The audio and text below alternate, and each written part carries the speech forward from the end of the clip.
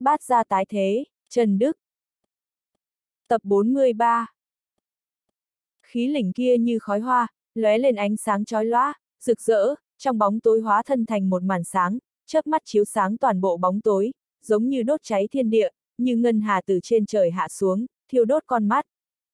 Trần Đức đột nhiên bừng tỉnh, khôi phục một lần nữa cảnh tượng trước mắt, anh đã ở đảo Định Thiên. Bốn phía người đông đúc.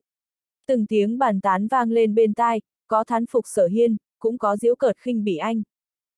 Phía trước, sở hiên cách kích định thiên chỉ còn 50 mét. Đã cách kích định thiên rất gần.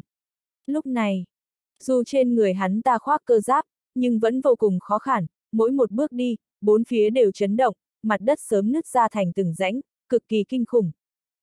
Mình nằm mơ sao, Trần Đức nhìn thấy cảnh tượng này, lại nhớ đến chuyện xảy ra lúc trước, trong lòng vô cùng nghi ngờ.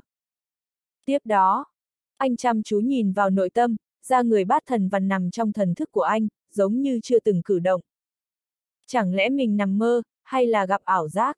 Không, chắc chắn không phải, tất cả mọi thứ quá chản thật, Trần Đức tin chắc tuyệt đối không phải giấc mơ, anh lại thử liên lạc với kích định thiên. Trong phút chốc, anh liền nhận ra kích định thiên có nảy sinh mối liên quan nào đó với mình. Mối liên quan đến cùng tổng cùng nguyên, cùng máu cùng mạch. Hơn nữa, ủng hộ chúng mình tại L hay Ho, Seom. Anh có thể cảm nhận rõ ràng khí linh bên trong kích định thiên. Giống như khí linh mới sinh, hoàn toàn mới, mơ hồ như trẻ sơ sinh, thuần khiết không tì vết, có liên quan gì đó đến anh, tràn đầy khí tức hỗn độn đậm đà, giống như là một phần trong cơ thể anh, cảm giác đó tương đối huyền diệu. Không phải mơ, cũng không phải ảo giác, trong mắt Trần Đức hiện ra một niềm vui sướng như điên. Nghĩ đến từng cảnh tượng trước đó. Trong lòng Trần Đức tràn đầy nghi ngờ, nhưng cũng tràn đầy niềm vui bất ngờ. Quá ngoài ý muốn. Vốn dĩ khi nhìn thấy khí linh kia, anh đã chuẩn bị từ bỏ, rời đi, ai có thể ngờ kết quả lại là như vậy. Lão khí linh, cảm ơn ông, mặc dù Trần Đức không hiểu tại sao rẻ dàng lấy được kích định thiên, dễ dàng nhận được sự cho phép của kích định thiên như vậy. Nhưng, anh biết một chuyện, đó chính là lão lĩnh khí đi rồi. Đúng, chính là về mặt ý nghĩa thông thường, đã chết, biến mất. Ông ta dùng cái chết của mình đổi một khí lĩnh hoàn toàn mới, hoàn toàn nhỏ tuổi. Cũng chỉ có khí linh như vậy mới phù hợp hoàn mỹ 100% với anh, sống chung suốt cuộc đời, vĩnh viễn không có hai chủ. Trong lòng Trần Đức xúc động. Lấy được kích định thiên quá dễ dàng, dễ dàng đến mức có chút nằm ngoài dự liệu của anh. Trải qua chuyện này càng khiến anh nghĩ không ra. Tim thiên yêu hoàng phân tích, im lặng hồi lâu ông ta mới nói, cậu quan tâm làm gì, có lẽ lão già đó hồ đồ, già rồi ngu ngốc, cho cậu một món hời lớn. Kết luận của thiên yêu hoàng ngược lại khiến Trần Đức cảm thấy có khả năng này. Có lẽ lão khí linh lẫn lộn anh với bát thần. Dù sao nghĩ cũng không hiếu, anh cũng chẳng buồn nghĩ thêm, từ khoảng cách gần một ngàn mét, anh bắt đầu tìm hiếu tỉ mỉ, làm quen kích định thiên. Kích định thiên quả thật rất mạnh. Nhưng, loại sức mạnh này là căn cứ vào tình hình lão khí linh còn sống, khí linh mới tinh ra đời, thực lực tổng thế bị suy yếu không ít, cho dù là suy yếu nhưng vẫn mạnh đến mức không theo chuẩn mực. Ẩn chứa trong đó sát ý nồng nặc đến đáng sợ. Loại sát ý đó không phải lúc chế tạo có thể rèn luyện được, mà là phải tiến hành thực chiến, giết người. Sát ý nồng nặc như vậy chí sợ ít nhất cũng phải dùng mạng của 10 triệu người, thậm chí trên trăm triệu, mấy tỷ người thì mới có thế tôi luyện ra. Hơn nữa, nguyên liệu bản thân nó cũng cực kỳ phi phàm, chính là chế tạo từ vị trí sao băng. Điều quan trọng nhất là không khó suy đoán, nó đã từng là vũ khí của bát thần trong quá khứ. Nói cách khác, lịch sử tồn tại của nó không chỉ ba chục ngàn năm, chỉ ít cũng phải ba trăm ngàn năm trở lên. Trần Đức có được nó như hố mọc thêm cánh, như cá gặp nước. Có nó trong tay, cho dù là cường giả cảnh giới đăng thiên, mình cũng có thể chiến đấu được, thậm chí treo cố người đó không phải không có khả năng nhỉ, trong lòng Trần Đức xúc động, phải biết rằng anh mới cảnh giới cố bản, người cấp bậc này có thể đánh nhau với cảnh giới khai thiên đã là nghịch thiên rồi, mà anh có thể đánh nhau với cảnh giới đăng thiên, điều này chắc không hợp thói thường. Đối lại là người bình thường, căn bản cũng không dám nghi ấy chứ. Tâm niệm Trần Đức khẽ động. Thử điều khiến kích định thiên, thu liềm toàn bộ thần uy và sát ý kích định thiên tản ra. Mau nhìn xem, tốc độ của cậu sờ biến đối nhanh rồi. Cùng giây đó, Trong đám người xuất hiện tiếng hô vang của một người phụ nữ, đó là sở kiều, hề có cơ hội cũng muốn cao giọng tân bốc, không hổ là cậu sở, anh ta. Anh ta đã nhận được sự đồng ý của khí linh rồi sao? Sở kiều vừa nói xong. Lập tức, mấy trăm ngàn người trong sân đều bất ngờ phát hiện ra tình hình này. Trước đó sở hiên bước đi còn vô cùng khó khăn, lúc này dường như trở nền thả lỏng rất rất nhiều. Mỗi một bước giống như đi dạo phố, vô cùng bình thản. Ngay cả sở hiên cũng có chút nghi ngờ, hắn ta hơi ngấn ra. Rất rõ ràng. Lúc này, thần uy và sát ý kích định thiên tỏa ra đang điên cuồng giảm xuống từng bước, đến mức hắn ta đột nhiên như chút được gánh nặng, bước chân nhẹ nhàng hơn rất rất nhiều. Kích định thiên cùng lắm cũng chỉ như vậy, sau khi ngây ra, sở hiên liền bật cười. Theo như hắn ta thấy, nhất định khí lĩnh đã chấp nhận hắn ta. Ngoại trừ cái này ra thì không tìm được nguyên nhân khác. Huống chi. Sở hiên có tự tin này. Hắn ta. Từ khoảnh khắc ra đời trở đi, hắn ta chính là tiêu điểm trong đám người, bất luận thiên phú hay tiềm lực đều là người xuất sắc trong những người xuất sắc. Tuổi ngoài 200, Lăng Thiên Đính Phong. Dõi mắt nhìn toàn bộ đại thiên thế giới, có mấy ai trẻ tuổi đã đạt đến cảnh giới này như hắn ta. Võ giả mạnh hơn sở hiên 99% già hơn hắn ta, còn người trẻ tuổi hơn thì mạnh không bằng hắn ta. Đây chính là niềm tự hào của sở hiên. Hắn ta cũng có vốn liếng mình tự hào. Khóe miệng nhếch lên nụ cười nhất định phải có, sở hiên bước nhanh hơn, đi về phía kích định thiên. Mất đi trọng lực, mất đi không gian sát ý, đối với hắn ta mà nói rất dễ dàng, một bước mấy mét, chưa đến 10 bước đã đến trước kích định thiên. Xem ra, sở hiên không khiến lão phu thất vọng, cát phong hành khẽ gật đầu, trong mắt lộ ra hài lòng, vui vẻ an tâm. Không hố danh là đệ tử học cung đạo vận, Vân Diệp cũng ra vẻ vài phần tán thưởng, lần này sở hiên rất có khả năng lấy được kích định thiên. Không chỉ hai người bọn họ đang bàn tán, Trương Hằng Chi, Lâm Hàn Quang, Ngũ Lương Nghiệp và mấy trăm ngàn người trong sân đều đang bàn tán sôi nổi, trong sân nổi lên một trận huyên náo. Lần đầu tiên, đây là lần đầu tiên bọn họ nhìn thấy có người có thế đến gần kích định thiên như vậy. Ai nấy đều nhìn không chấp mặt, sợ rằng sẽ bỏ lỡ bất kỳ cảnh tượng nào, nhìn chằm chằm vào sở hiên. Còn về Trần Bát Hoang, gì ở phút này, chỉ còn số lượng rất ít đang bàn tán, số lượng rất ít này hoàn toàn khỏng đáng kế, đa số người đã coi khinh, xem như người trong suốt. Đến giờ phút này, anh đã không có tư cách đặt lên so sánh với sở hiên. Kẻ yếu không có quyền lên tiếng, càng không có nhản quyền. Phần lớn sự chú ý đều đặt lên người sở hiên, không muốn rời đi một chút nào. Binh khí tốt. Sở hiên giơ một tay vuốt ve cây kích vững chắc như trời, trong ánh mắt tràn đầy yêu thích. Binh khí này hẳn ta yêu mất rồi. Đúng là không theo chuẩn mực, mạnh đến yêu nghiệt. Tiếp theo thì đế tao cầm mày đi, sở hiên đi mấy vòng quanh kích định thiên, sau khi quan sát tỉ mỉ một hồi, cơ thế đột nhiên hóa lớn, căng phồng lên mấy chục trượng, hai cánh tay mở rộng như đại bằng dương cánh, mạnh mẽ ôm lấy kích định thiên. Hú! N! Một tiếng hét lớn. Chán hắn ta nổi gân xanh, nguyên khí toàn thân dâng trào, sau khi điên cuồng tích tụ sức mạnh, hẳn ta đẩy ra, ý đồ ôm lấy kích định thiên. ầm ầm, Lần đấy lực này, toàn bộ sân luận đạo bắt đầu rung lắc dữ dội, giống như động đất tới, núi lắc lư. Nhưng, cho dù sở hiên dùng lực như thế nào, kích định thiên thật sự giống như vật trời định, vẫn cảm dễ sâu dưới lòng đấy, không thể di chuyến dù chỉ một phân một tấc. Thú vị! Sở hiên cười gằn, sau đó trong tay nặn ra từng ấn ký. Võ kỹ, bình quyết. Khi bốn chữ được hô lên, bốn phía cơ thế sở hiên xuất hiện từng chiếc phù văn, phù văn và đường vân rơi xuống kích định thiên, quấn quanh bao bọc lẩy nó. Đồng thời, thần hồn mạnh mẽ của sở hiên sông ta từ trong cơ giáp, như sóng thần tràn ngập trong chu vi mấy trăm mét. ầm ầm, rõ ràng có thể thấy, khi thi chiến binh quyết, đảo định thiên bắt đầu lắc lư. Ngay cả Trần Đức cũng vô cùng chấn động. Thi triển binh quyết giống như đang ngăn cách liên lạc giữa anh và khí linh, cưỡng ép cướp đoạt quyền khống chế kích định thiên. Nếu hắn ta cứ tiếp tục như vậy, có lẽ thật sự sẽ thành công cướp được kích định thiên.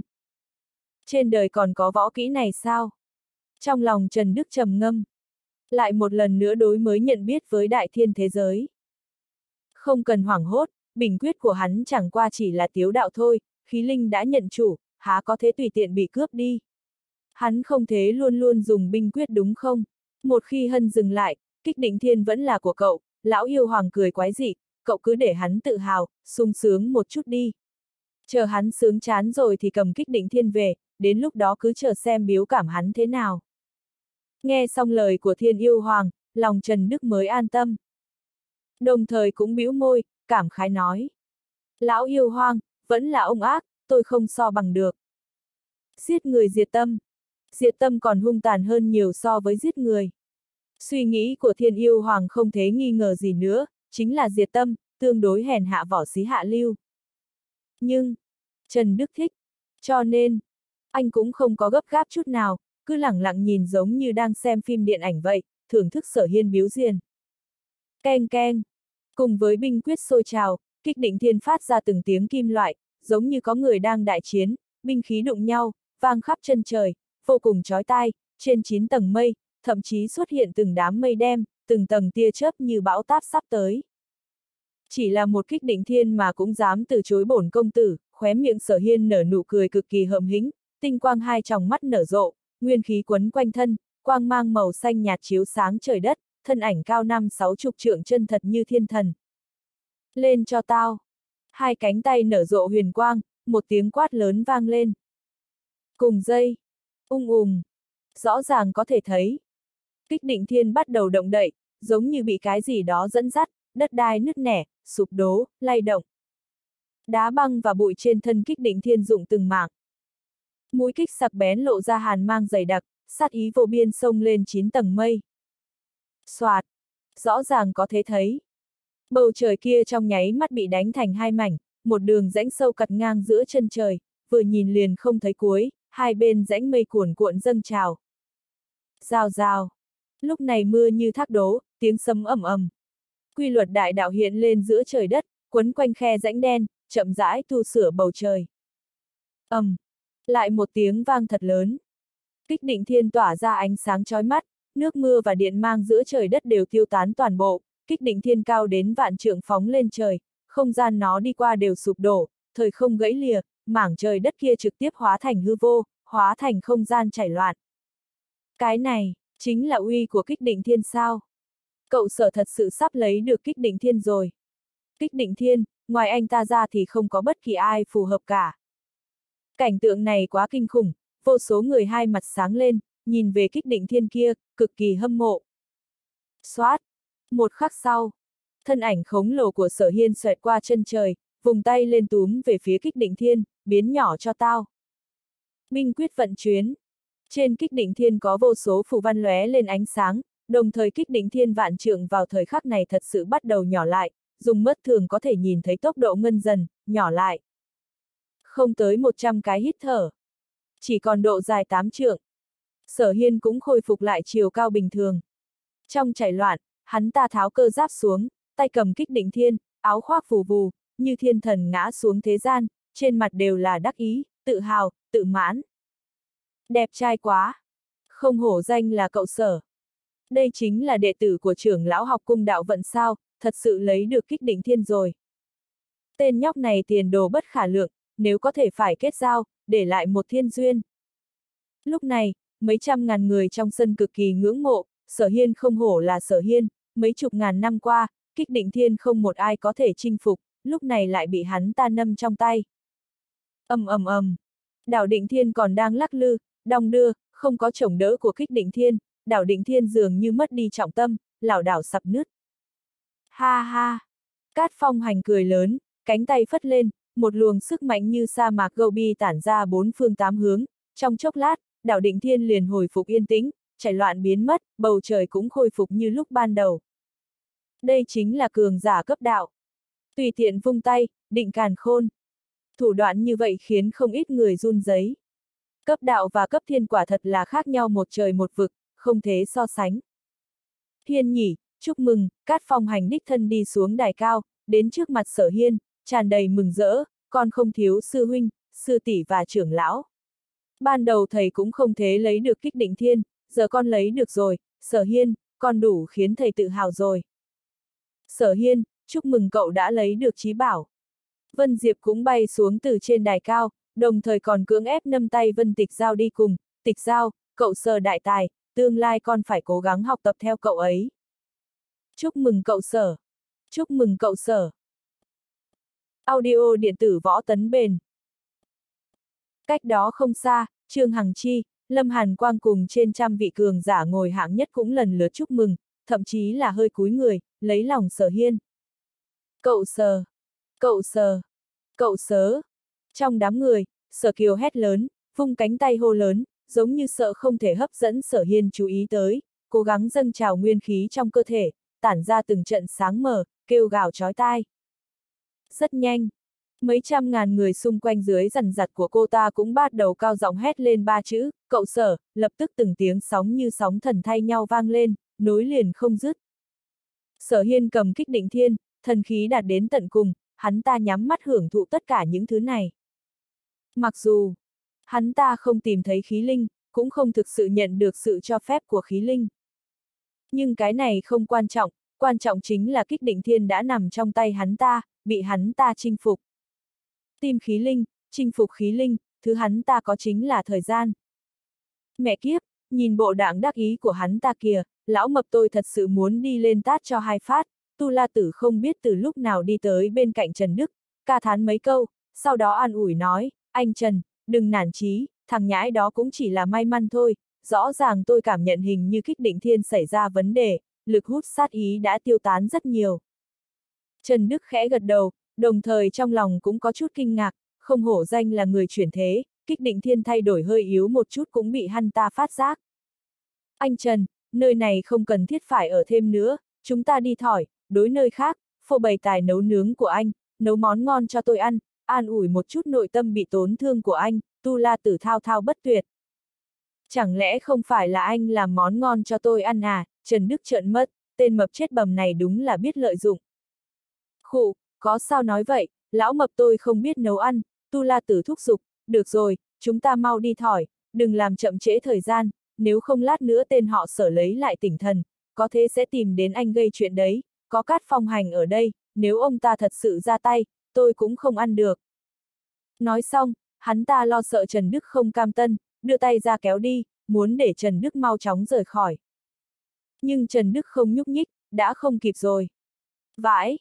Tu La Tử mới phát hiện không biết đôi mắt của sở hiên đã mớ ra từ lúc nào, hơn nữa còn khóa chặt Trần Đức. Thưa sư phụ, Vân Thánh Chủ, Tiêu Giao, chuyện chúc mừng, chốc nữa hãng bàn, mọi người đợi một lúc, tôi đi xử lý chút chuyện, vừa dứt lời, sở hiên đã nhấc chân, bước từng bước đến Trần Đức. Hắn ta tiến lên, tiếng huyên náo ồn ào dần lắng xuống. Lúc này hàng vạn người mới chú ý đến, ở hiện trường còn có Trần Bát Hoang. Trước đó, thế hiện nổi bật của sở hiên dường như đã khiến tất cả mọi người quên mất anh.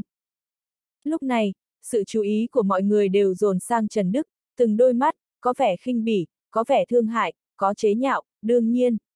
Cũng có số ít người cảm thấy đáng tiếc. Lần này, e rằng Trần Bát Hoang chết không hồi sinh rồi. Không vì gì khác, tất cả mọi người đều hiếu rõ, cảm nhận được một luồng sát ý từ trên người sớ hiên. Rất rõ ràng, sát ý không hề che giấu. Đột, đột, đột. Hai. Trong không gian yên tĩnh, chỉ còn lại tiếng bước chân của sở hiên, hắn ta thong thả đi từng bước đến trước Trần Đức. Khi còn cách anh 3 mét, hắn ta dừng lại, không bước tiếp nữa, sở hiên hắn ta, nếu quá gần loại kiến này, thì là một sự sỉ nhục với hắn ta. Đôi mắt nhìn chằm chằm Trần Đức, vốn dĩ, sở hiên khỏng có hứng thú gì với Trần Bát Hoang, nhưng sau khi có được kích định thiên, hắn ta vẫn quyết định giết chết Trần Bát Hoang, dù sao, thái độ của Vân Tịch Giao với Trần Bát Hoang, hình như không bình thường. Giết anh, tiêu diệt hậu họa sau này thì tốt hơn. Trần Bát Hoang, bây giờ anh đã hiếu khoảng cách giữa anh với tôi chưa?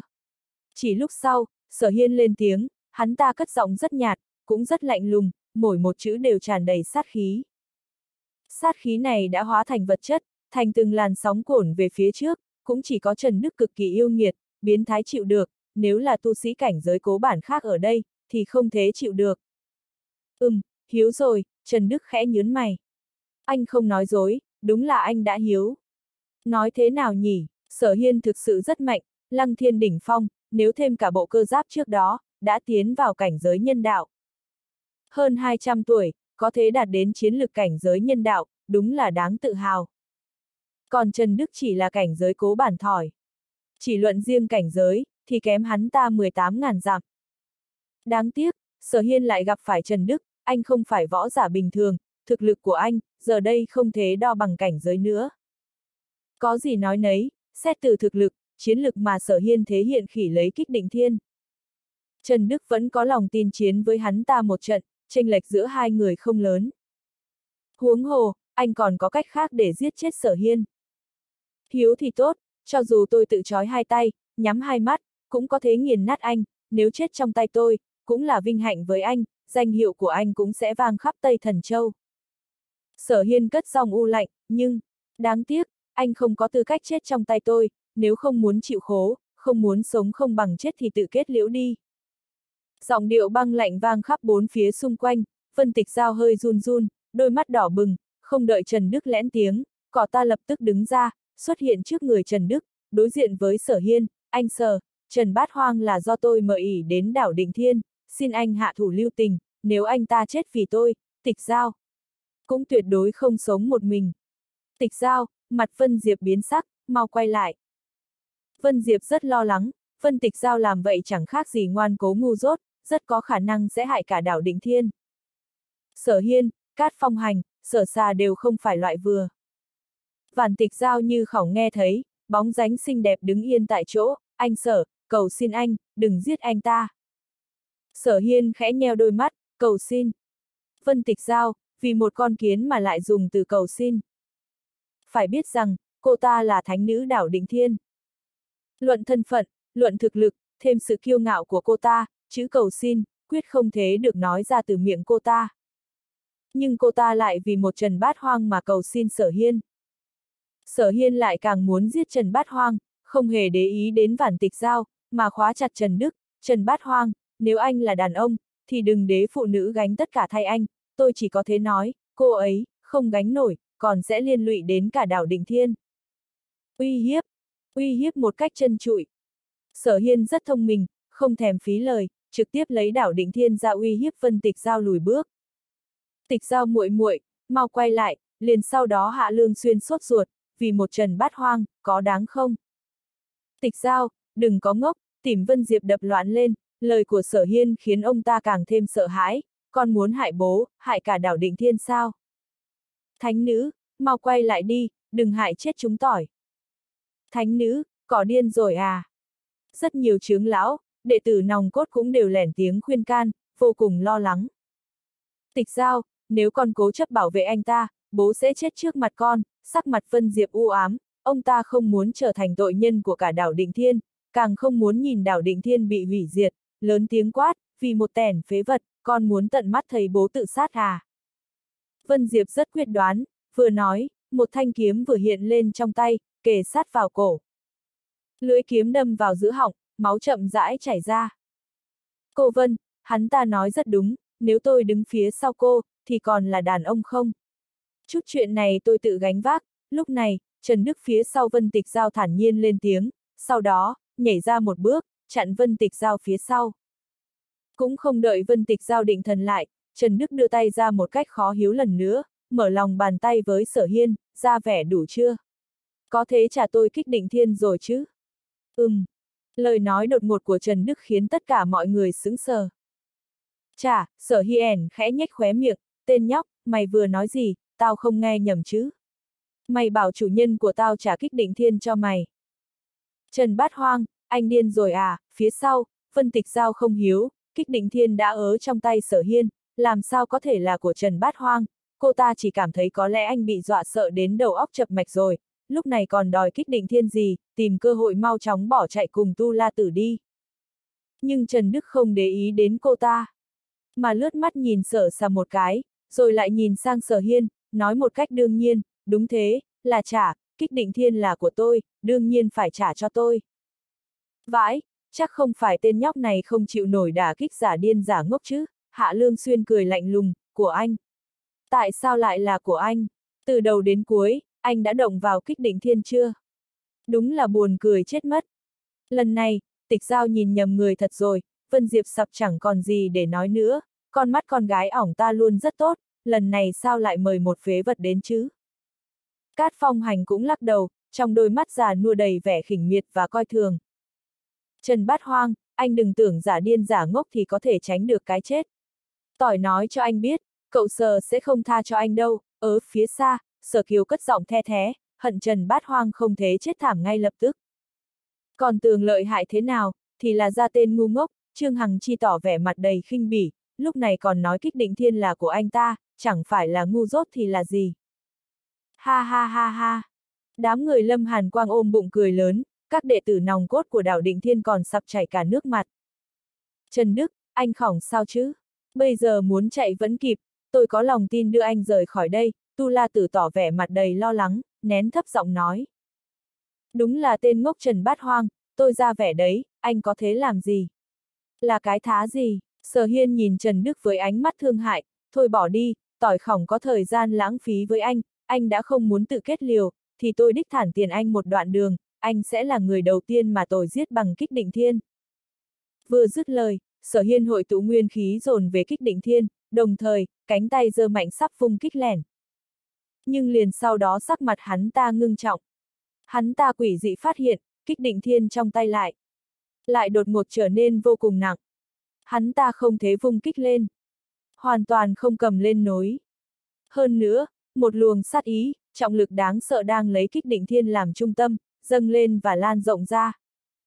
Sở Hiên lập tức cảm thấy áp lực tăng lên gấp bội. Thậm chí tức ngực khó thở, ngay cả hít thở cũng trở nên cực kỳ khó khăn. Áp lực giáng xuống như biến rộng, sao sáng, cả người hắn ta dường như bị đè dưới ngọn núi, có chút.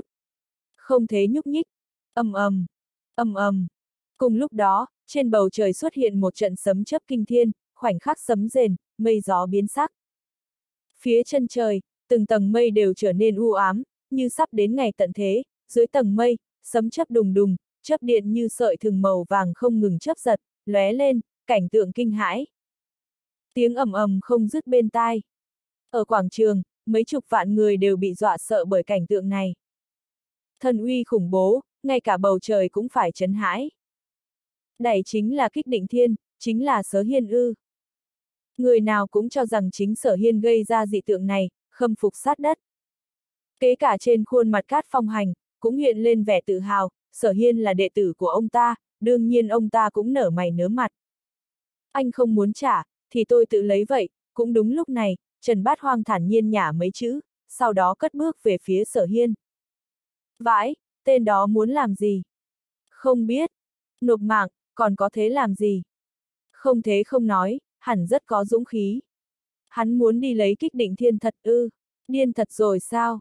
Tất cả mọi người nhìn hành động của Trần Đức, đều vô cùng ngạc nhiên, lúc này, nếu đổi lại là bọn họ, e rằng sớm đã bị dọa sợ đến không dám động đậy, đâu còn dám tiến lên. Người nào cũng phải khâm phục lòng gan dạ của Trần Bát Hoang. Khoảng cách 3 mét, rất ngắn. Thời gian một phần ba hơi thở, Trần Đức đã đi đến trước sở hiên. Điều kỳ lạ là sở hiên không hành động gì. Vẫn đứng ở đó, không nhúc nhích.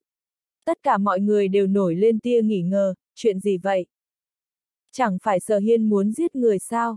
Sao còn không hành động?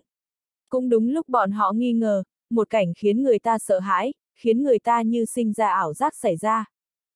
ầm ầm, có thể thấy rõ ràng, kích định thiên trong tay sở hiên không ngừng rung lên, như đang dẫy giụa. Xoạt! liền sau đó, kích định thiên hóa thành luồng sáng, bay vút lên bầu trời, đột nhiên tầng mây tỏa ra hào quang rực rỡ, khuấy động phong vân, xé rách hư không, thần uy phát ra còn mạnh hơn trước vạn lần. Cả đảo định thiên, trời rung đất chuyển, như xảy ra chuyện gì đáng sợ, sát ý như biến, lan khắp bốn phương tám hướng. Bành! Cùng lúc đó, Trần Đức Phút người nhảy lên. Tóm lấy kích định thiên, nắm chặt trong tay, cúi nhìn xuống dưới, cúi nhìn sở hiên. Sở hiên, chẳng phải anh hỏi tôi có thế làm được gì sao, là cái thá gì sao?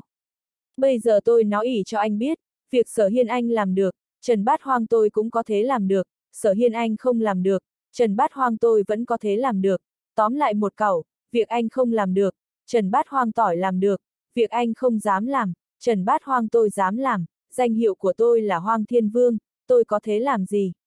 Tôi có thể giết anh.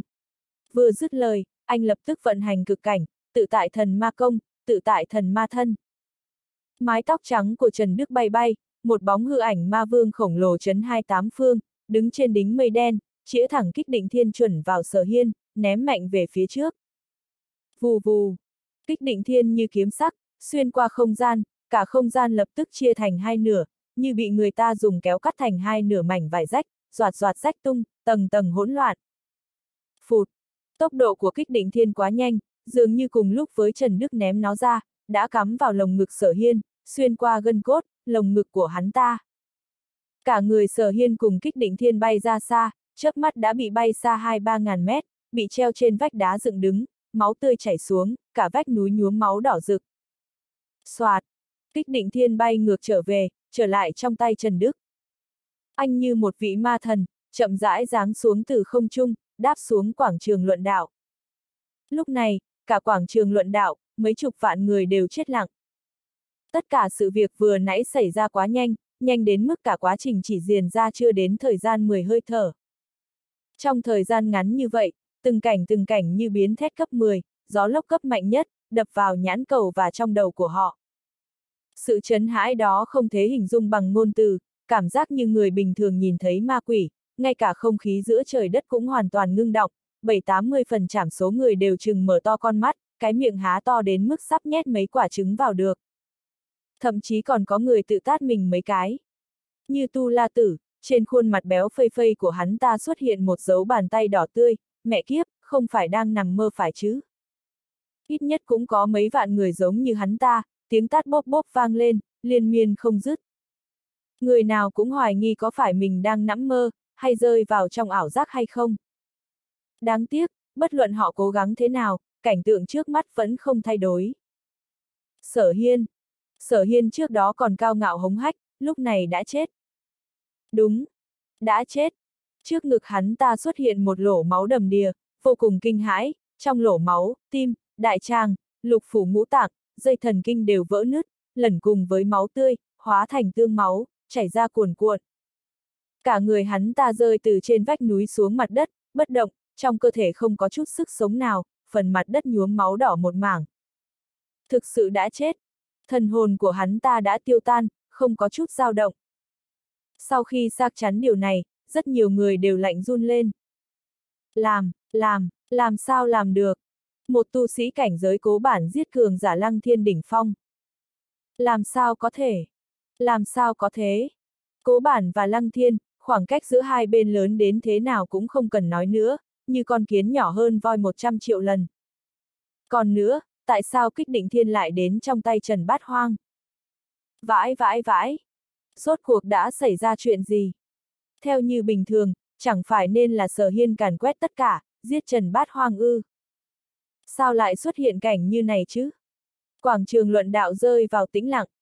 Hồi lâu không có ai lên tiếng, bởi vì không ai có thể hiếu được rốt cuộc Trần Bát Hoang làm được bằng cách nào, đầu óc của 99% số người đều hỗn loạn, chập mạch, linh hồn, thần thức đều trong trạng thái tạm dừng. Dễ dàng hơn tưởng tượng rất nhiều, nhìn thi thể ở phía xa, Trần Đức thầm lấm bấm, nếu thực sự phải luận cảnh giới, thực lực, đương nhiên sẽ không dễ dàng đánh được sở hiên, nhưng hắn ta đã bị kích định thiên chân áp. Ngay cả động đậy cũng không thể động đậy, trong tình huống như vậy, sở hiên không chết thì ai chết.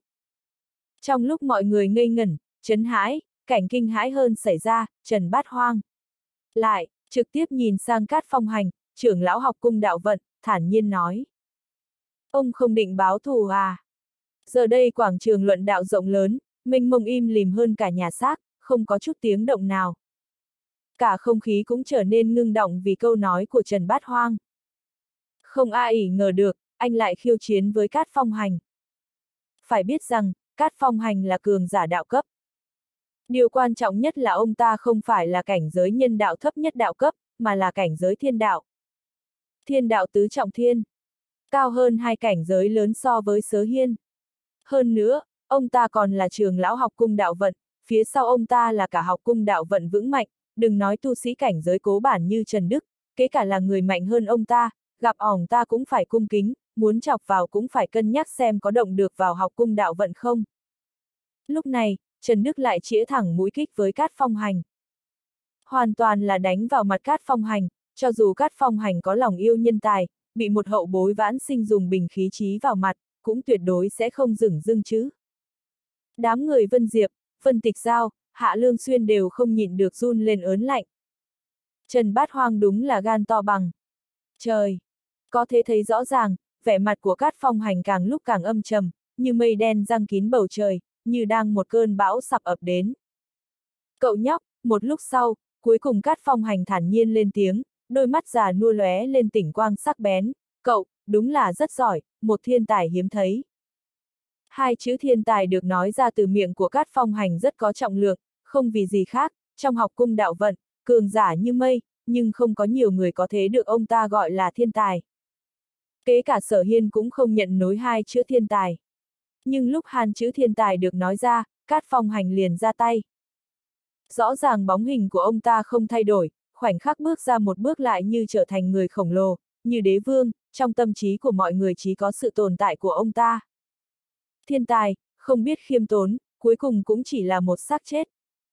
Đừng nói lão phu cậy già lên mặt, nếu cậu có thể tiếp được ba trưởng của tôi, thì tôi tha cho cậu một mạng.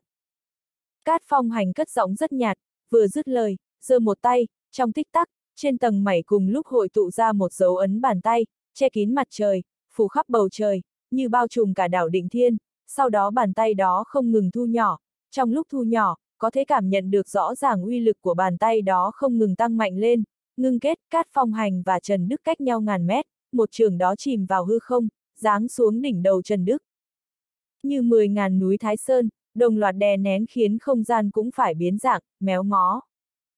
Rất nhiều tu sĩ đều phải toát mồ hôi ròng ròng, Trần Bát Hoang có thể đỡ được ba trưởng với uy lực như này. Rõ ràng Cát Phong Hành muốn giết chết anh. Cảnh giới thiên đạo, quá đáng sợ, vẻ mặt Trần Đức biến sắc, anh đã cảm nhận được một loại áp lực đến từ sâu trong thần hồn. Mặc dù anh có huyết mạch thần ma, huyết mạch bất tử điều, huyết mạch nhà họ Trần, cũng khó mà chống đỡ được. Âm ầm, vận hành âm dương kình, khí huyết trong cơ thể cuồn cuộn, nguyên khí hỗn độn sôi sục như nước, Trần Đức cố hết sức chống lại áp lực. Keng! Đồng thời, anh vùng kích định thiên, kích định thiên được tắm trong nguyên khí hỗn độn, lóe lên hào quang màu u tối, cực kỳ cực kỳ khó khăn đánh hướng lẻn chẽn, trước mặt dường như có kết giới vô tận, khi kích định thiên lướt qua, vén lên từng đợt sóng âm kim loại, tia lửa bắn khắp xung quanh. Trong phút chốc, một trường đó và kích định thiên đập vào nhau. Khoảnh khắc đập vào nhau, trời đất tĩnh lặng vì nó, mất đi âm thanh, mất đi sắc thái. Sau ba hơi thở, ầm, um, một đám mây hình nấm khổng lồ tỏa ra, bùng nổ kinh thiên động địa, cả đảo định thiên, các thành trì lớn, các khu vực lớn đều rung chuyển, như chiếc thuyền khổng lồ gặp phải tấn công mạnh chìm xuống, đại đạo cũng hỗn loạn. Đây chính là cường giả cảnh giới thiên đạo, một lời nói, một hành động như thì ên đạo giáng xuống. Chỉ một trường đủ để uy áp tứ hải, chấn hãi tám phương. Sau tiếng nố, có thể thấy rõ ràng, ở chỗ Trần Đức vừa đứng không còn lại gì, ở đó có một hố sâu ngàn trượng đường kính 10 mét, trong hố sâu, dòng hỗn loạn hư không nối lên, như động đen, sức mạnh đáng sợ điên cuồng lưu chuyển, vô cùng hỗn loạn.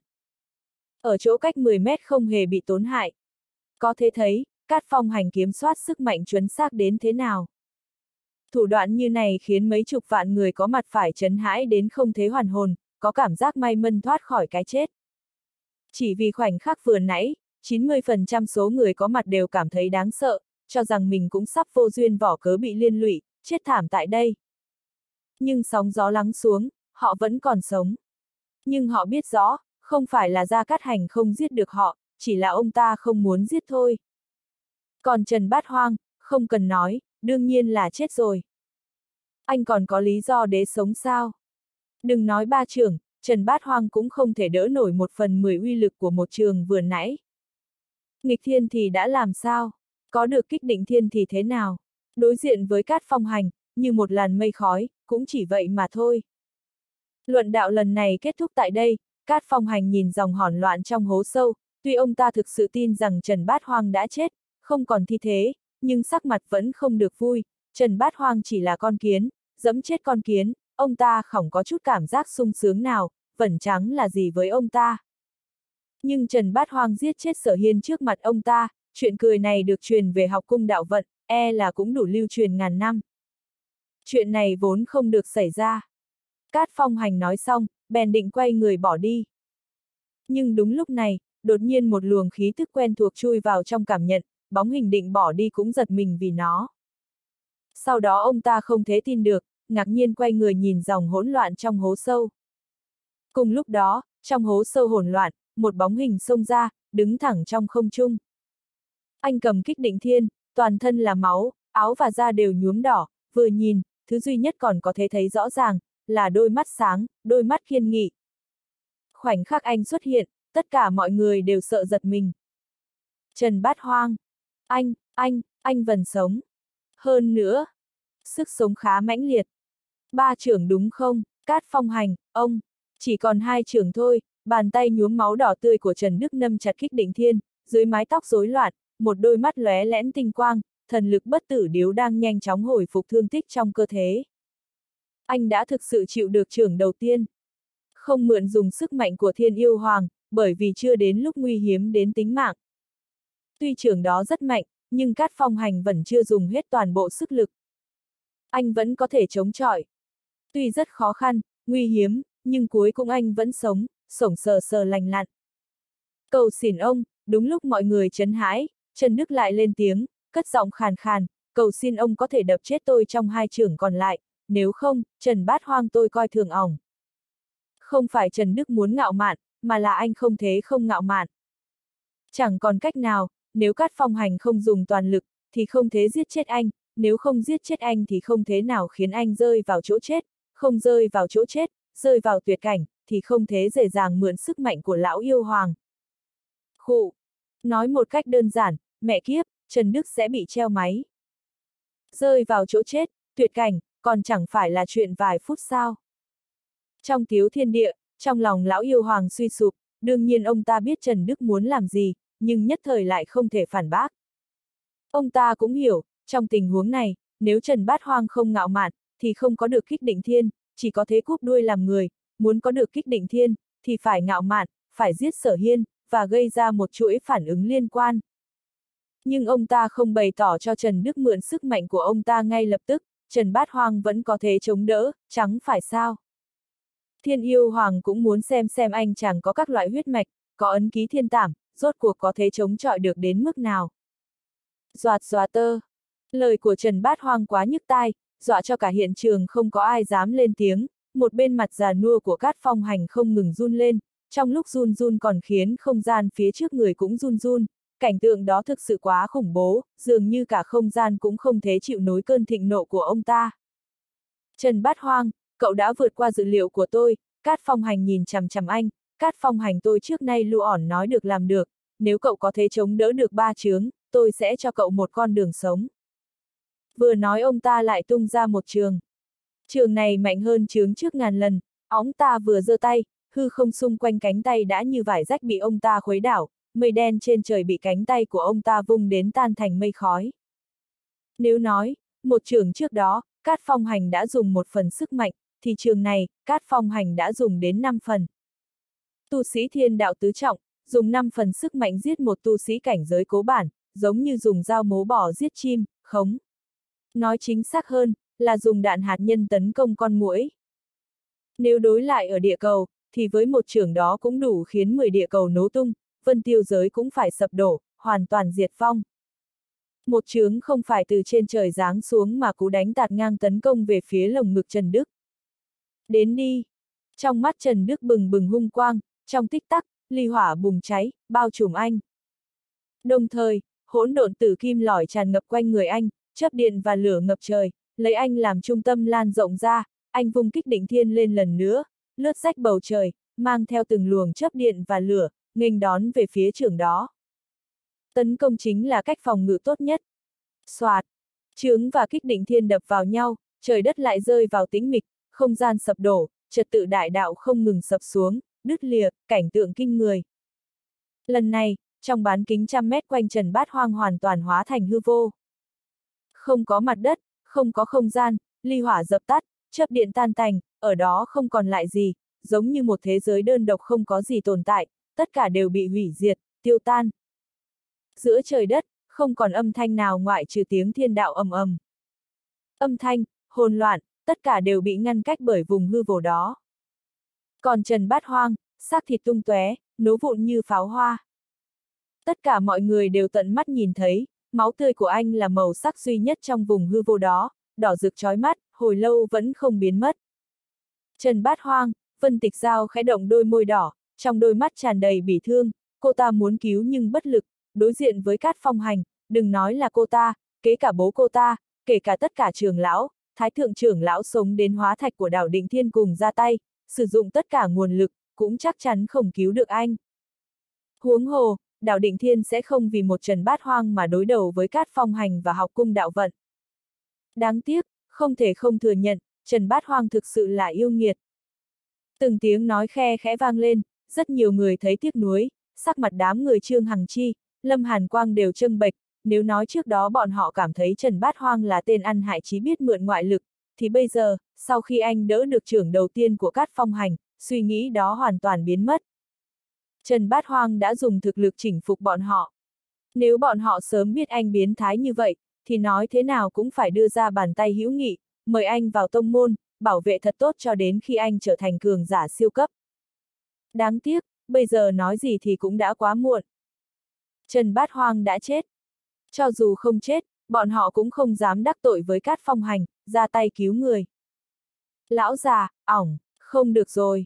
Đúng lúc này, đúng lúc tất cả mọi người cho rằng Trần Bát Hoang đã chết, đột nhiên, trong hư vô, truyền ra một giọng nói cực kỳ khó khăn, khàn khàn. Sau đó trong bóng tối, một luồng ánh sáng lấp lóe như ngọn nến, đó là thần hồn. Thần hồn của Trần Bát Hoang. Cùng lúc đó, không gian hư vô như đảo ngược thời gian, máu bắn tung tóe trong không gian bắt đầu bay ngược trở về, quấn lấy thần hồn, sau đó sinh ra từng đoạn huyết mạch, lục phủ ngũ tạng, chỉ trong chốc lát, một cơ thể cường tráng hiện ra trước mắt tất cả mọi người. Bụp! Trần Đức hơi mở lòng bàn tay. Bụp! Kích định thiên chìm xuống đáy hư vô tỏa ra hào quang, trở lại trong tay anh. Hỗn độn tử kim lôi và ly hỏa giao nhau đan sen, như một chiếc áo choàng lớn, bao trùm lấy anh, tắm trong đó, dường như ma thần giáng xuống thực sự. Cùng lúc đó, anh bước ra khỏi hư vô, ánh mắt lướt nhìn cát phong hành, nói thế nào thì ông cũng lớn tuổi rồi, vậy mà không đập chết được một con kiến, ông.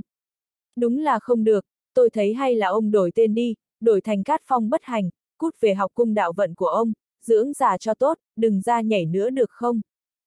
Một câu nói thản nhiên không có tính sát thương, nhưng sỉ nhục cực mạnh.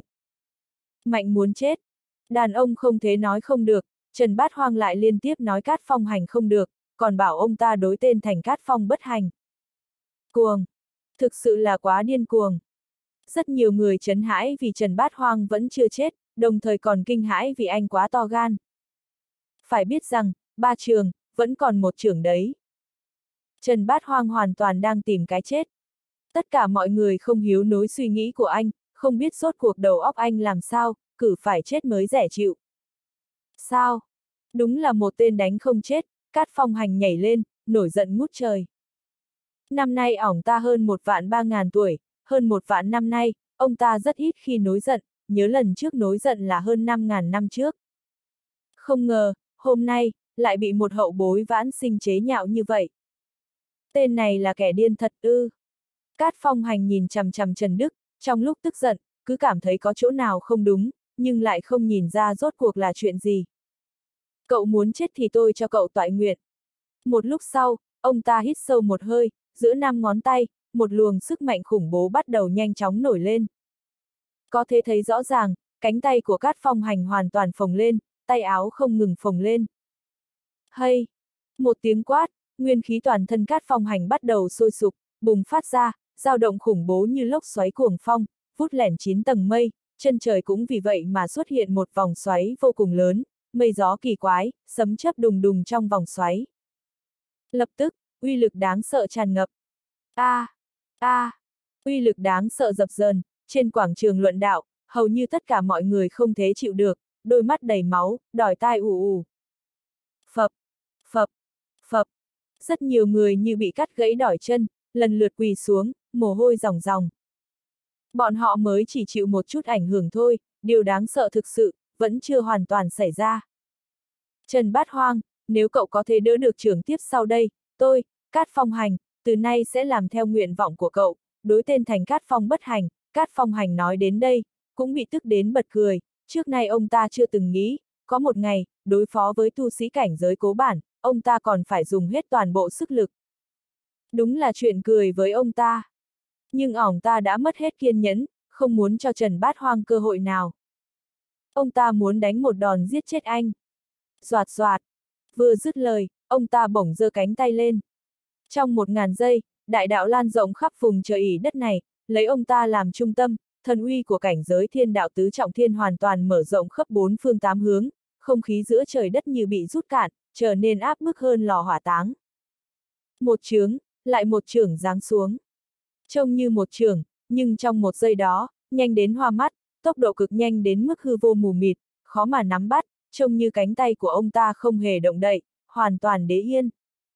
Cùng với một loạt động tác bàn tay, trong tích tắc, hàng ngàn hàng vạn trưởng giáng xuống, mỗi một chướng khủng bố đến mức khiến người ta phát run, hàng ngàn hàng vạn trưởng cùng giáng xuống một vị trí, vùng không gian đó cũng xuất hiện một dấu ấn lòng bàn tay khổng lồ, từng trường liên tiếp, hợp thành một, tấn công mạnh về phía trước ầm ầm, cơn gió lướt qua, mặt đất xuất hiện một khe nứt khổng lồ, chia thành hai, trong tích tắc, một trường hoàn toàn bao trùm, khóa chặt Trần Đức, không cho anh cơ hội bỏ chạy.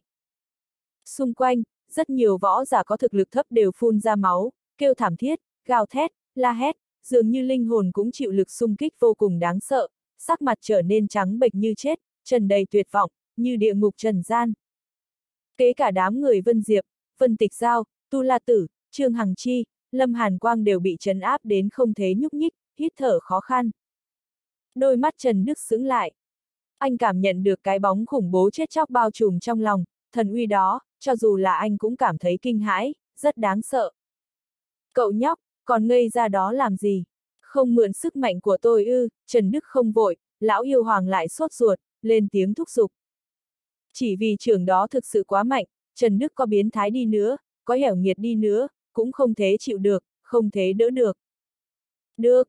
Trần Đức khẽ gật đầu, lóe lẻn tinh quang, lập tức thi triển thuật pháp, một luồng thần năng khổng lồ như thủy triều nối lên hướng về thức hải, hướng về xương cốt chân tay, thay thế nguyên khí hỗn độn của anh.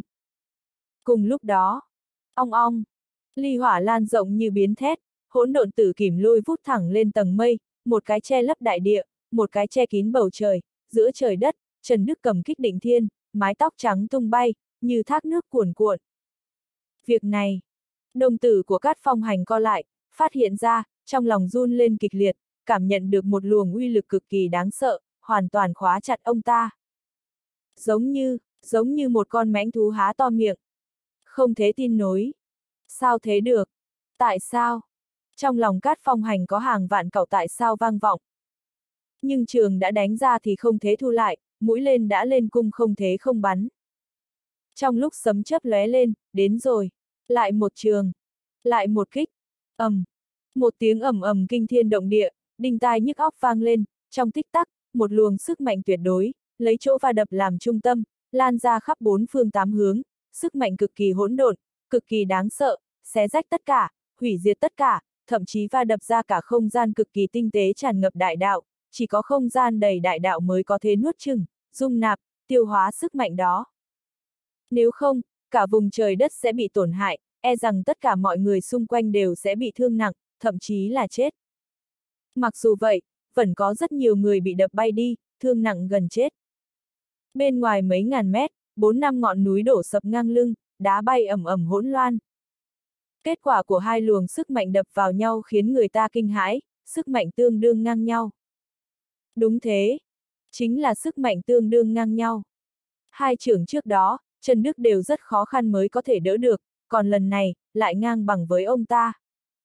Trần Đức vẫn lành lặn đứng tại chỗ, không hề bị thương chút nào.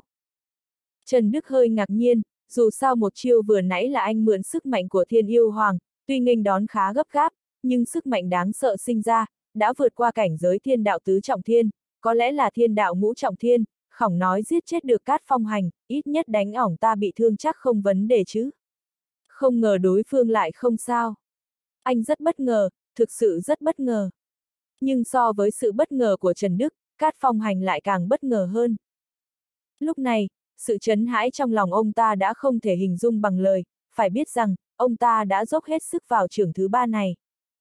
Thậm chí chỉ có bản thân ông ta mới biết rõ, sau khi cảm nhận được sức mạnh khủng bố quỷ dị trên người Trần Đức truyền đến, ông ta còn dồn thêm sức, cố gắng tăng thực lực, dốc hết toàn lực, một chướng dùng hết 10 phần thực lực, lại dồn mạnh hơn, dùng hết 1.000% sức mạnh, chí mong không xảy ra sai sót.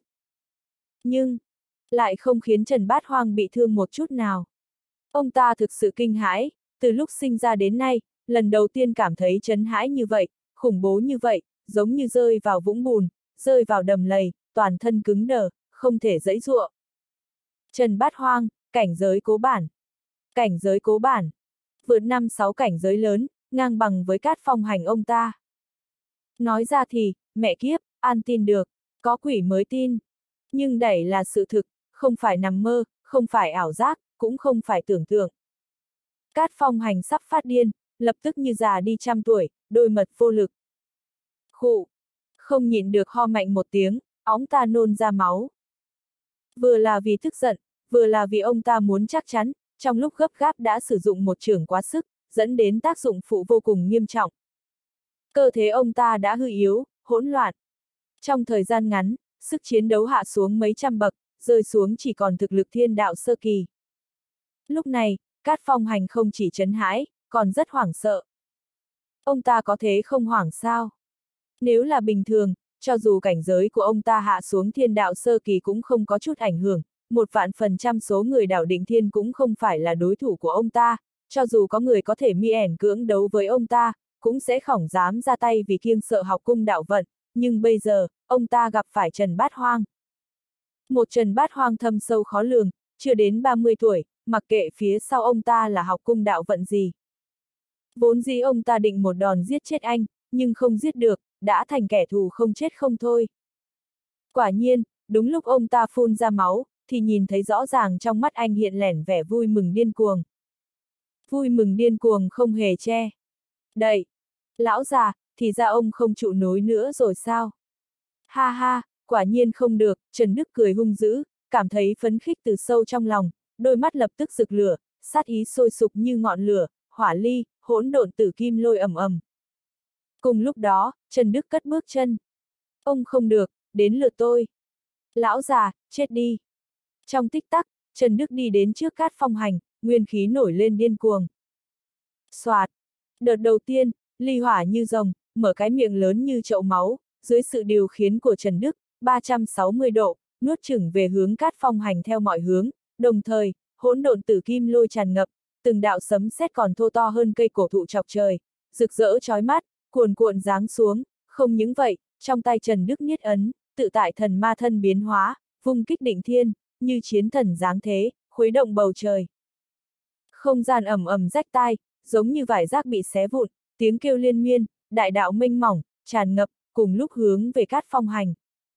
Nhóc con, dựa vào cậu, mà muốn giết lão phu, kẻ ngốc nói mơ, mượn ngoại lực, chỉ được một thời gian ngắn thôi, tôi không tin cậu chống cự được bao lâu. Cát phong hành không hổ là trưởng lão học cung đạo vận, bất kế trong lòng chấn hãi thế nào, hoảng sợ thế nào, chỉ cần một phần ngàn giây, đã hoàn toàn bình tĩnh lại. Ông ta đã nhìn ra Trần Bát Hoang mượn ngoại lực, tuy không biết nguồn gốc của sức mạnh đó.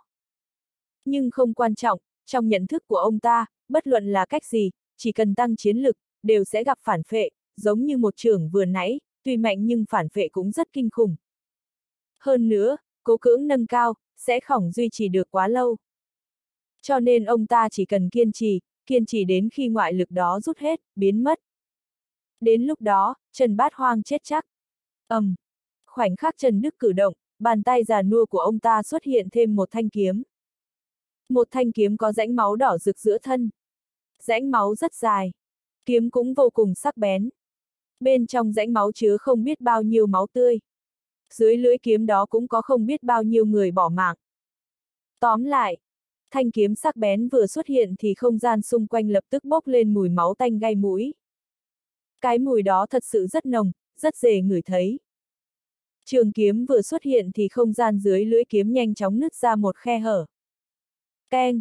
Trường kiếm khẽ run lên, cánh tay cát phong hành xoay tròn, những đường kiếm hình tròn nhanh chóng lao vụt đi, 10 kiếm, trăm kiếm, ngàn kiếm, vạn kiếm, kiếm phong như mưa chặt đứt lị hỏa, dập tắt nó, lại ngăn cách hỗn độn tử kim lõi bẻn ngoài, phá tan. Có điều, Ông ta vừa mới đối phó ly hỏa và hỗn độn tử kim lôi xong. Thì bóng dáng Trần Bát Hoang đã tới gần, tự tại thần ma thân cùng kích định thiên buông xuống cùng lúc. ầm, um, Phản ứng của Cát Phong Hành rất nhanh, đầu tiên là tránh thoát tự tại thần ma thân, bởi vì với ông ta mà nói, tự tại thần ma thản có tính uy hiếp lớn hơn một chút, nhưng đáng tiếc, ông ta đủ sức tránh thoát tự tại thần ma thân, lại không thể thoát được kích định thiên. Phụt! Kích định thiên rơi xuống, đâm vào xương vai ông ta, đánh bay một đống xương cốt và máu thịt, máu tươi phun ra, lúc này Cát Phong Hành mới xoay người, một kiếm đánh về phía kích định thiên của Trần Đức, đồng thời cơ thế né đi mấy trăm mét. Cát Phong bất hành, ông chỉ có chút khả năng đó thôi hả, ánh mặt Trần Đức đầy sắc bén, miệng cũng rất độc, trực tiếp gọi ông ta là Cát Phong bất hành. Phụt! Cát Phong hành tức đến hộc máu, hai mắt đỏ tươi, đồ danh con, tôi làm thịt cậu. Ông ta đưa tay gọi trường kiếm, miệng thốt ra một đạo thần hoa, tạo thành tấm lưới lớn màu vàng che cả trời, bao trùm lấy Trần Bát Hoang. Dù lực chiến của ông ta giảm xuống, nhưng thủ đoạn và quân bài tẩy lại rất nhiều. Kéo dài thời gian hoàn toàn không phải là vấn đề. Tấm lưới lớn màu vàng như thiên la địa võng, những sợi cước đó đều không phải vật thực, mà được ngưng kết từ đại đạo, là trận văn đan sen, một khi bị bao phủ, e là sẽ bị luyện hóa. Soạt! Trần Đức hoàn toàn không sợ, tung người nhảy lên, kích định thiên đầy sát ý, vung lên lên trời. Xoẹt xoẹt xoẹt! Những âm thanh quái lạ vang lên, tấm lưới màu vàng khống lồ đầy chắc chắn đã bị phá nát thành từng mảnh nhỏ, tất cả đại đạo, trận văn đều tiêu tan, mờ ảo không thấy ánh sáng. Cát phong hành thầm kinh hãi, sắc mặt âm u, không ngờ Trần Bát Hoang lại hung hãn như thế, chỉ mới vung lên đã hủy diệt bảo bối mà ông ta luyện chế suốt nhiều năm, lòng ông ta đau đến nhỏ máu. Nhưng đây không phải là lúc để ông ta suy nghĩ quá nhiều. Trường kiếm đang cầm rời khỏi tay, miệng niệm pháp quyết, thì chiến thần thông, trường kiếm đỏ như máu hệt như thiên kiếm, nở rộ thành hàng ngàn vạn huyền quang chấn động cả thiên địa, khiến cả sân luận đạo đều lay động, thứ ánh sáng khiến cả trời cũng bị đâm ra một lỗ thủng. Thế nhưng, Trần Đức vô cùng bình tĩnh, cũng hết sức hờ hững, bởi vì trường kiếm đó có mạnh cách mấy thì cũng không thể ảnh hưởng đến anh cộng với sức mạnh của thiên yêu hoàng dù chỉ là một chút. Ông! Trường kiếm lay động, từng luồng sát ý ngưng kết lại hóa thành hàng vạn lưỡi kiếm sắc bén chém tới, như một mảnh bông tuyết đang rơi xuống. Keng keng keng! Trần Đức phung kích định thiên lên, hoàn toàn không thể trốn được, ngược lại còn đón lấy đòn tấn công, kích định thiên vung lên, đánh nát kiếm quang sau đó đảm thẳng vào rãnh máu trên thân kiếm. Keng! Trường kiếm run rẩy, suýt chút nữa từ trên cao rơi xuống. Tiếp nào! Lại một lần nữa, Trần Đức cầm phương thiên họa kích đánh tới. Răng rắc, Lần này, trường kiếm trực tiếp vỡ ra, xuất hiện vết nứt nhỏ, nửa giây sau thì hoàn toàn vỡ nát, hóa thành những mảnh kim loại văng ra khắp nơi. Cơ thế cát phong hành run lên, trường kiếm chính là vũ khí bản mệnh của ông ta, ông ta cũng bị ảnh hưởng, liên tục lùi về phía sau, lại một ngụm máu tươi phun ra, sắc mặt còn trắng hơn cả người chết. Nhưng, Trần Đức không hề cho ông ta cơ hội thở rộng, thần uy ngập trời đánh tới, gọi kích định thiên ra, cây kích chợt hóa to, cao đến vạn trượng, ly hỏa và hỗn độn tử kim lôi quấn quanh mũi kích, sáng lạn hoa cả mắt, như ngọn núi thần lửa và núi thần xét chất chồng lên nhau, cùng ầm ầm rơi xuống. Sao lại như thế?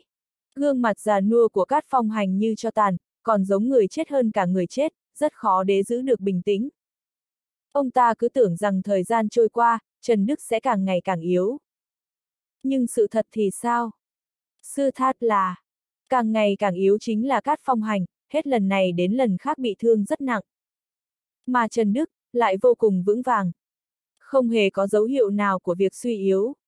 Đó không phải là điểm chết người nhất, chết người chính là anh chẳng những không yếu đi, mà hình như. Hình như thực lực còn không ngừng tảng lên. Cát phong hành có cảm giác như đang mơ, một cảm giác không thật. Ông ta đã bị bóng tối của sự chết chóc bao trùm. Rõ ràng vẫn còn rất nhiều quân bài tẩy, còn rất nhiều thủ đoạn. Nhưng, đối mặt với Trần Đức, lại không còn chút can đảm và sức chiến đấu nào, ý chí của ổng ta đang dần suy yếu. Dù sao thì, Trần Bát Hoang cũng quá yêu nghiệt. Trần Bát Hoang, Trần Bát Hoang.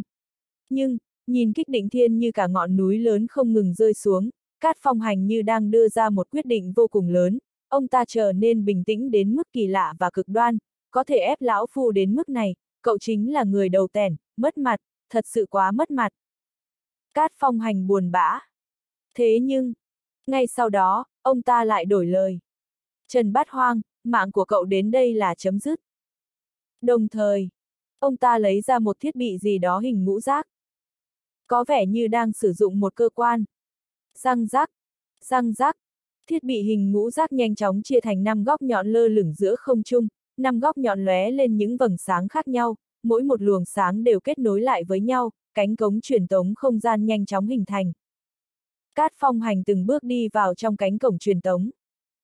Khoảnh khắc ỏng ta bước vào. Năm góc nhọn đó hợp lại làm một, chớ về thành hình ngũ giác. Nhưng, chúng nó không hề biến mất. Vần lơ lửng giữa không trung. Bên ngoài hình ngũ giác là vầng hào quang bao trùm. Cùng lúc đó, kích định thiên rơi xuống. ầm, um, cả mặt đất bồng chốc rung lên. Lị hỏa và hỗn độn tử kim lôi bao phủ cả hư không. Thế nhưng, thứ hình ngũ giác đó lại không chịu bất kỳ ảnh hưởng gì. Như có một sức mạnh thần bí nào đang che chở nó, như thế nó đang ở trong một thế giới riêng, rõ ràng kích định thiên, ly hỏa và hỗn độn tử kim lôi đã bao trùm lấy nó, xuyên qua nó, nhưng nó vẫn còn nguyên vẹn không tổn hao gì. Đây là thứ quái quỷ gì thế, Trần Đức nhíu mày, đại thiên thế giới có quá nhiều thủ đoạn, có quá nhiều thứ mà anh không biết. Này cậu Trần, mau theo tôi đi. Khi Trần Đức đang tập trung suy nghĩ, đầy khó hiếu, thì đột nhiên Tu La Tử từ đằng xa chạy tới trước mặt anh, cậu Trần, tôi không biết tại sao cậu lại đột nhiên trở nên mạnh như vậy, không cần biết là cậu dùng ngoại lực, hay bất kỳ nguyên nhân gì, không thế ở lại nơi này được nữa, mau theo tôi đi. Tại sao, Trần Đức hỏi, anh có thể cảm nhận thấy rất rõ Tu La Tử đang vội. Cánh cống truyền tống này là do thánh địa tử vi tạo ra, mỗi một góc của nó đều là một hành tinh, bản thân ấn chứa khả năng phòng ngự khủng bố, một bảo vật vô giá, sau khi ghi điểm kết thúc vào đó, thì điểm bắt đầu có thể là bất cứ đâu, lập tức được đưa tới điểm kết thúc, cũng có thể từ điểm kết thúc quay lại điểm bắt đầu, chỉ trong giây lát, dù là gần hay xa cũng sẽ đến trong giây lát. Lão già không biết xấu hổ đó lại chạy về tìm người cứu viện, Tu La Tử hối thúc, mau theo tôi về tộc Tu La ấn nấp đi, nếu không chịu đi bây giờ sẽ chảy mét. Ồ thế hả? Trần Đức lập tức giật mình, nhìn thiết bị ngũ giác kia. Với tình trạng của anh bây giờ, nếu Cát Phong Hành thật sự dẫn một cao thủ mạnh mẽ tới, thì chắc chắn trăm phần trăm anh đánh không lại.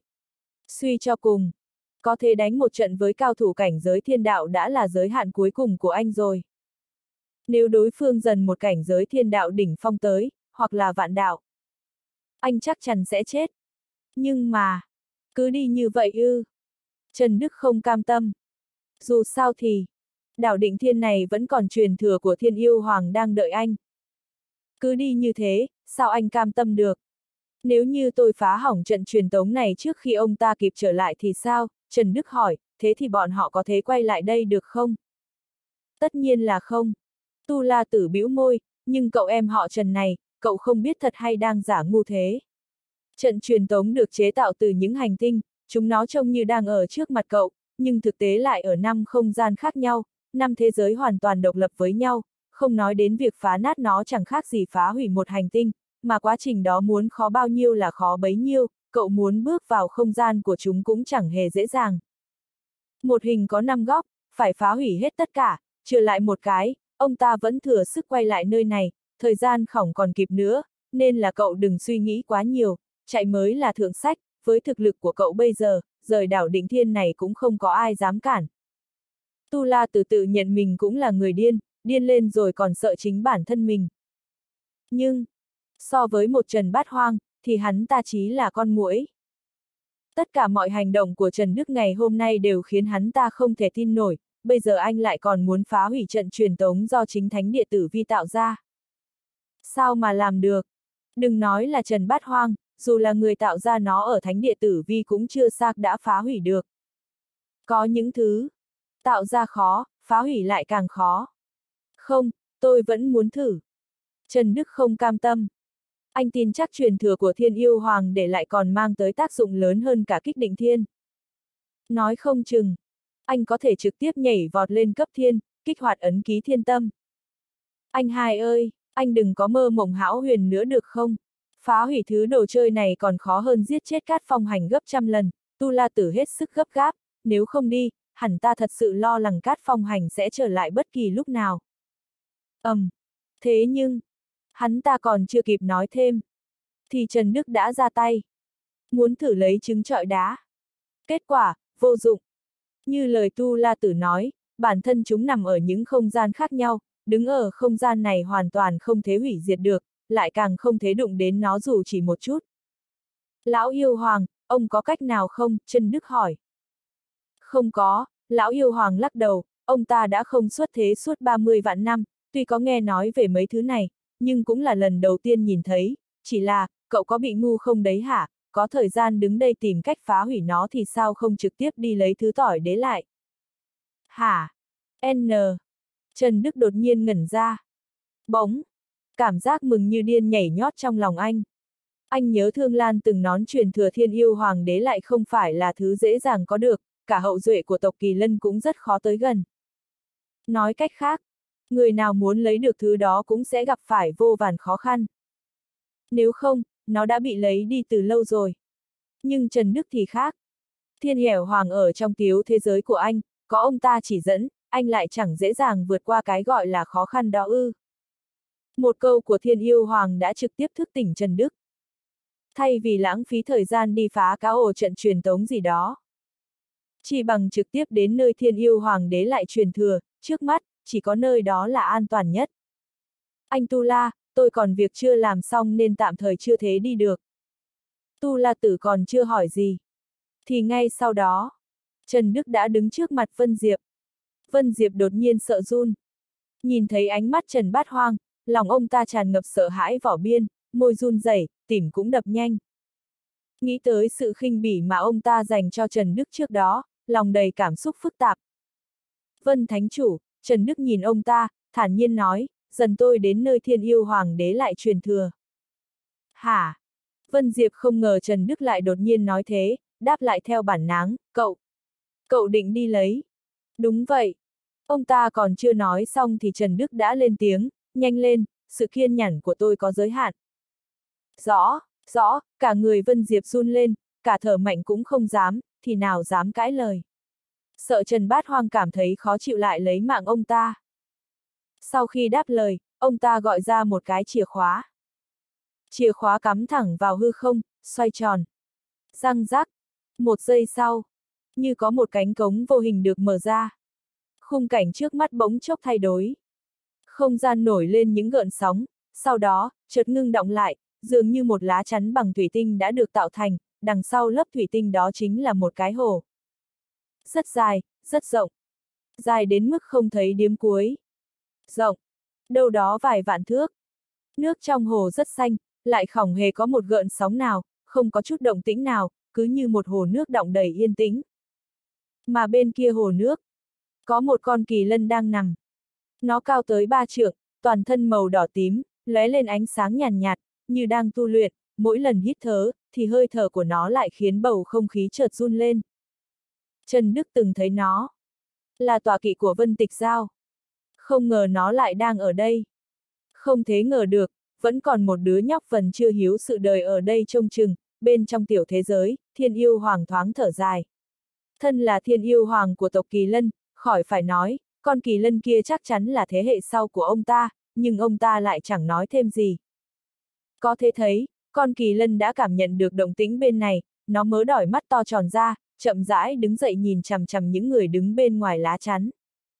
Lạch cạch, chìa khóa lại xoay chuyển, lá chăn thủy tinh mở ra. Vân Diệp cẩn thận đi trước dần đường, đưa Trần Đức đến bên hồ, cậu Trần, bờ bên kia của hồ chính là nơi thiên yêu hoàng đế lại truyền thừa. Trần Đức nhìn về phía trước. Bèn kia hồ là một mảnh xương mù dày đặc, đỏ như máu, trắng thế nhìn thấy gì cả.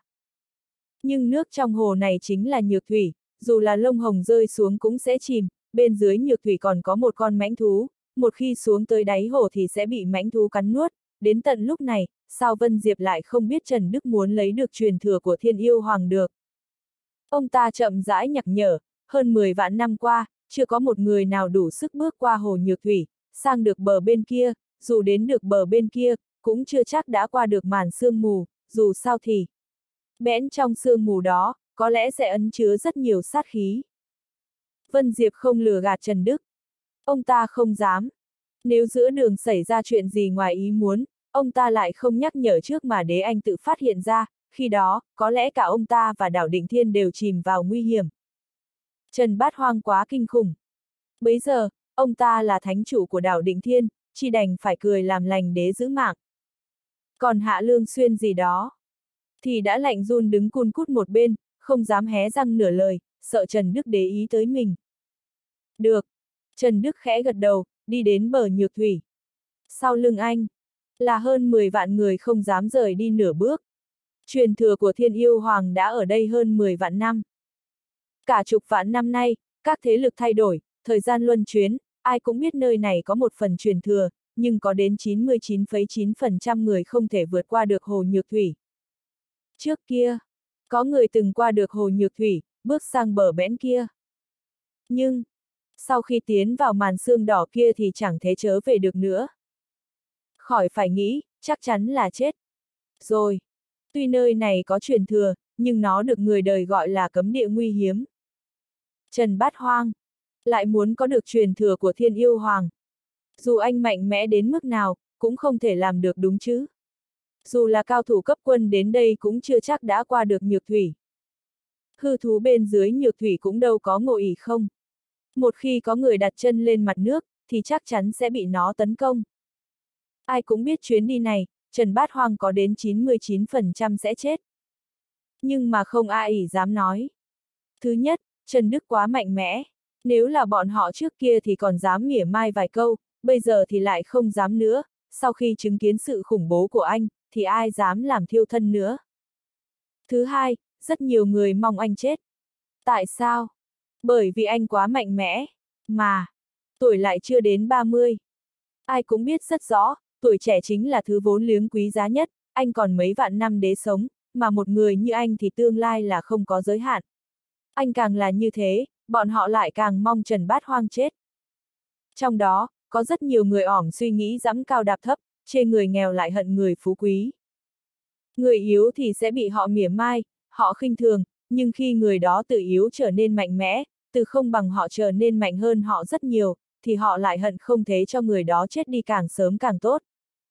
Đó chính là lòng người. Dù là một võ giả có thế bay trên trời, chui xuống đất thì vẫn là như thế. Mà những kẻ tiểu nhân như Trương Hằng Chi, Lâm Hàn Quang thì lại sợ bị Trần Đức trả thù. Huống chi, Trần Bát Hoang còn đắc tội với học cung đạo vận, chẳng mấy chốc người của học cung sẽ trở lại, Trần Bát Hoang mà còn sống thì sẽ liên lụy đến bọn họ. Họ chỉ ước rằng Trần Đức bước vào nhược thủy rồi chết luôn ở đó. Trương Hằng Chi nhìn bóng lưng Trần Đức trước mặt, nắm đấm siết chặt, có chút căng thẳng, tìm cứ đập loạn hết cả lên. Trần Bát Hoang. Đúng lúc này, Vân Tịch Giao lại không nhìn được bước tới, gọi Trần Đức, anh quay lại cùng Tu La Tử rời khỏi đây đi, đừng tự tìm đường chết, nhược thủy, với thực lực này của anh là không thể vượt qua được. Trần Đức dừng bước, nhìn về phía Vân Tịch Giao xinh đẹp như thiên tiên, khuynh quốc khuynh thành, khóe mắt lại rưng rưng. Người đẹp quả là người đẹp. Dù khóc cũng vẫn xinh đẹp như vậy. Khóe miệng cong lên một nụ cười Trần Đức giơ tay lên lau nước mặt, dịu dàng nói, cô Vân, cô cứ yên tâm, người tốt sống không thọ, tai họa lại ở đó cả ngàn năm, một mầm mống tai họa như tôi sẽ không thể chết được. Trần Bát Hoang, cảm nhận được độ ấm từ lòng bàn tay Trần Đức, tim Vân Tịch Giao như tan ra. Không biết từ khi nào, cỏ ta đã quan tâm đến người đàn ông trước mặt như thế, đã quyến luyến đến thế. Đó chính là tình yêu ư. Khiến con người ta bất ngờ không kịp đề phòng, không thể tự kiềm chế. Sau này đừng là cô Vân nữa, gọi, tịch giao là được rồi. Cô ta biết Trần Đức đã quyết định sẽ xông vào đó, nên không khuyên thêm gì nữa, gương mặt tuyệt sắc khẽ ửng hồng, nhất định phải sống quay trở về. Được, tịch giao. Trần Đức khẽ gật đầu, hiển tâm, tôi còn phải trở về ẩn thịt tiên hạc nữa mà. Đáng ghét. Mặt phân tịch giao lại càng đỏ, cúi đầu ngượng ngùng không thế tả, nhưng có ta lại đối giọng, Lý Nhí nói, chỉ cần anh trở về, thì sẽ cho anh ăn. Giọng cô ta hơi nhỏ. Nhưng, tất cả mọi người ở đó đều dựng thẳng lỗ tai lên nghe cuộc đối thoại này. Một đám hận sắp điên cả đầu, hâm mộ lại ghen tị muốn chết. Mẹ nó chứ. Đó chính là thánh nữ của đảo Định Thiên, đảo mắt khắp Tây Thần Châu này, nhan sắc cô ta có thể xếp vào 10 người đứng đầu. Cỏ ta lại, lại. Hai mắt Hạ Lương Xuyên đỏ bừng, những tờ máu hiện lên rất rõ, tức đến mức muốn giết người. Rõ ràng Trần Đức còn yếu hơn hắn ta, cảnh giới cũng thấp hơn hắn ta. Tại sao lại có thế mạnh đến vậy? A a a. Trong lòng Hạ Lương Xuyên là tức giận đến điên cuồng, sóng dữ nhấp nhô. Thế nhưng từ đầu đến cuối vẫn co giúp trong đám người, khỏng dám hé răng, bị động đế hai người kia nhét cơm chó vào miệng. Khụ, Vân Diệp không nhìn được ho khan một tiếng, cậu Trần, nếu cậu muốn vào thì mau đi đi, nấn ná nữa thì Cát Phong Hành sẽ về đến đây mất. Là một người bố, sao ông ta lại không hiếu được lòng con gái mình? Trước đó ông ta không chịu đồng ý là vì Trần Bát Hoang quá yếu, không xứng với Vân Tịch Giao. Sự thật đã chứng minh. Không phải là anh không xứng với Vân Tịch Giao, mà là Vân Tịch Giao không xứng với Trần Bát Hoang. 30 tuổi, đánh với Cát Phong Hành, khiến ông ta phải bỏ trốn, thử hỏi khắp tải thần châu này ai có thế làm được. Không một ai cả. Thế nhưng, Trần Bát Hoang ngàn vạn lần không nên đắc tội với học cung đạo vận. Bây giờ, ông ta chỉ có thể chờ xem Trần Đức đủ sức đế thoát khỏi kiếp nạn này hay không thôi. Nếu anh thoát được, ông ta sẽ đồng ý chuyện của hai người, nếu không, Trần Bát Hoang cũng đã chết rồi, ỏng ta chẳng còn gì đế phản đối nữa. Chỉ là, trong lòng Vân Diệp vẫn nghiêng về hướng Trần Bát Hoang sẽ chết. Suy cho cùng, dù là nhược thủy hay học cung đạo vận thì cũng thừa sức khiến anh mất mạng. Trừ khi, anh lập tức bỏ trốn. Nhưng, đối mặt với học cung đạo vận thì có thể trốn được tới đâu. Hai, Vân Diệp khẽ lắc đầu, quá đáng tiếc. Với sự yêu nghiệt của Trần Bát Hoang, nếu không đắc tội với học cung đạo vận, thì đặt chân vào thế lực nào, dù là thế lực hạng nhất thì cũng được trọng dụng, ông ta có chút tiếc nuối. Cậu Trần, chuyến này cậu nhất định phải cẩn thận. Cảm ơn Vân Thánh Chủ nhắc nhở. Trần Đức cười cười. Sau đó, anh đi đến chỗ hồ nước, liên lạc với Thiên Yêu Hoàng. Tôi sẽ dạy cho cậu một đoạn chú ngữ đế cậu đọc lại, hiếm khi thấy Thiên Yêu Hoàng nghiêm túc được một lần, miệng đọc ra những từ ngữ cố xưa và đầy cố quái, lại nghe giống ngôn ngữ của bộ tộc thiếu số nào đó. Trần Đức ghi nhớ. Sau đó đứng bên bờ, bắt đầu niệm chú đẩu ra đó. Cùng với những âm tiết anh thốt ra. Nó ngưng tụ thành những dòng chữ ánh sáng, lao ra khắp bốn phương tám hướng quanh hồ nước. Tên đó làm cái gì thế? Hình như là đọc chú ngữ gì đó. Chưa nghe bao giờ, cứ như ma âm vậy, có thể ảnh hưởng đến thần hồn. Nực cười, chẳng lẽ niệm một đoạn chú ngữ là có thể qua được xác? Một vài đệ tử đứng khá xa chẽn đảo đỉnh thiên xì xào bàn tán, không dám nói lớn, vì sợ Trần Bát Hoang nghe thấy nên vô cùng cẩn thận. Mau nhìn kìa! Đột nhiên, đám đồng chợt vang lên tiếng hét đầy giật mình và sợ hãi, hồ! Hồ nước có động tĩnh rồi. Trên thực tế, không nói mọi người cũng nhìn thấy, mặt nước vốn không chút gợn sóng đã xuất hiện những vệt sóng lăn tăn, nó ngày càng lớn, như có con thú khổng lồ nào đó đang xoay người, sóng đập vào bờ dữ dội, cao tận mấy trăm trượng, như một bức tường dựng lên trước mặt mọi người. Đồng thời, sâu dưới đáy nước, một thứ màu vàng trông còn to lớn hơn cả thuyền buồm, có vẻ giống cá chê dần nổi lên mặt nước, hai sợi dâu dài bên mỏi như cây cột lắc lư dưới nước, hàm răng cưa trong cái miệng to tướng như hang động đen ngòm khiến tìm con người ta chợt đập nhanh. Thú hư vô. Con thú đó chính là loài duy nhất có thể vượt qua được nhược thủy. Sinh ra đã không có lĩnh trí, dù rất mạnh nhưng mãi mãi vẫn là man thú, cần nuốt những thứ chìm xuống nhược thủy. Vì đảo định thiên chiếm cứ nơi này, nên dã thú xung quanh cũng được dọn sạch, cách ba tháng họ lại chia nhau cho nó ăn, nếu không, một khi thú hư vô trở nên hung ác, nhảy ra khỏi mặt nước thì chắc chắn sẽ mang đến đại nạn cho đảo Định Thiên. Đó cũng là lý do tại sao nơi này có bảo vật, lại đế cho một thế lực hạng 2, hạng 3 chiếm giữ. Thú hư vô có sức ăn rất lớn. Cách 3 tháng, nó lại ăn hết 200 triệu tấn long tượng. Nó ló dạng khỏi mặt nước khiến rất nhiều người sợ đến mức nhảy dựng, dù là Vân Diệp thì cũng bất giác lùi lại vài bước. Nên biết rằng, con thú hư vô này đã sống 30 vạn năm, thậm chí còn lâu hơn như vậy nữa, vượt qua tất cả giới hạn của võ giả, nó mạnh đến mức nào, chẳng ai có thể đoán được. Nhưng, cảnh tượng sau đó lại khiến mọi người hoảng sợ, giật mình. Họ thấy, con thú hư vô từ giữa hồ chậm rãi bơi lên bờ. Vẫn đứng yên không nhúc nhích. Sau đó, Trần Đức Sải bước đi lên tấm lưng rộng rãi của nó. Thú hư vô ngoan ngoãn như một con thú cưng, có anh chậm rãi bơi sang bờ đối diện. Cả con kỳ lân bên kia bờ cũng ngơ ngác, đôi mắt to như chuông đồng đầy vẻ hoảng sợ không thể che giấu, như muốn đuổi theo, nhưng nhấc chân lên thì một giây sau đã dừng lại. Bởi vì, nó nhận được một tin tức. Mà tin tức đó, đến từ thiên yêu hoàng. Là một phần truyền thuộc chỉ thuộc về tộc Kỳ Lân, hơn nữa, còn là thần thông đã thất truyền hơn 10 vạn năm qua. Nó sững sờ tại chỗ nhìn theo bóng lưng Trần Đức, rất lâu sau đó, nó nhấc chân bước lên trời cao, đạp không chạy đi. Tịch Giao, nó đang, Vân Diệp nhìn về phía Vân Tịch Giao, Kỳ Lân là con thú cô ta nuôi, cả đảo định thiên này, ngoài Vân Tịch Giao thì không ai có thể đến gần nó.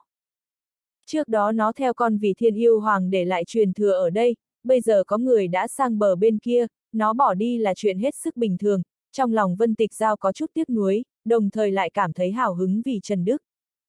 Dù thế nào, thì cánh cửa nhược thủy này cũng đã vượt qua rồi. Mấy chục vạn người. Lặng im, rung động nhìn Trần Bát Hoang càng đi càng xa, càng đi càng xa.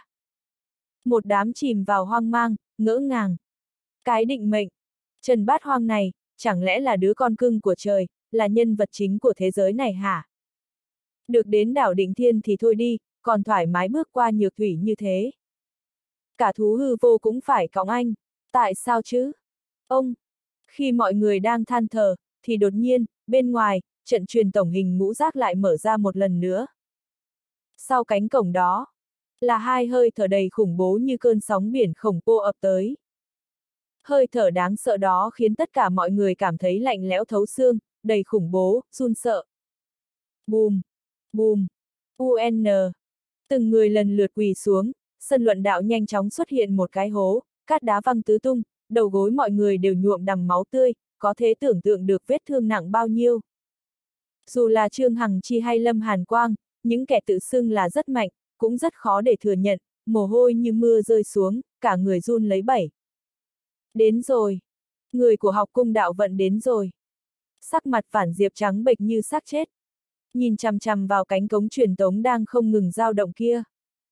Một giây sau đó, hai bóng người sóng vai bước ra. Một trong số đó tất nhiên là Cát Phong Hành. Chỉ trong chốc lát, hơi thở của ông ta đã quay trở lại trạng thái mạnh nhất. Mà bên cạnh ông ta, còn có một kẻ mạnh hơn. Người đó trông còn trẻ hơn ỏng ta, dáng vẻ tầm trung niên, nhưng trên thực tế đã hơn 8 vạn tuổi rồi.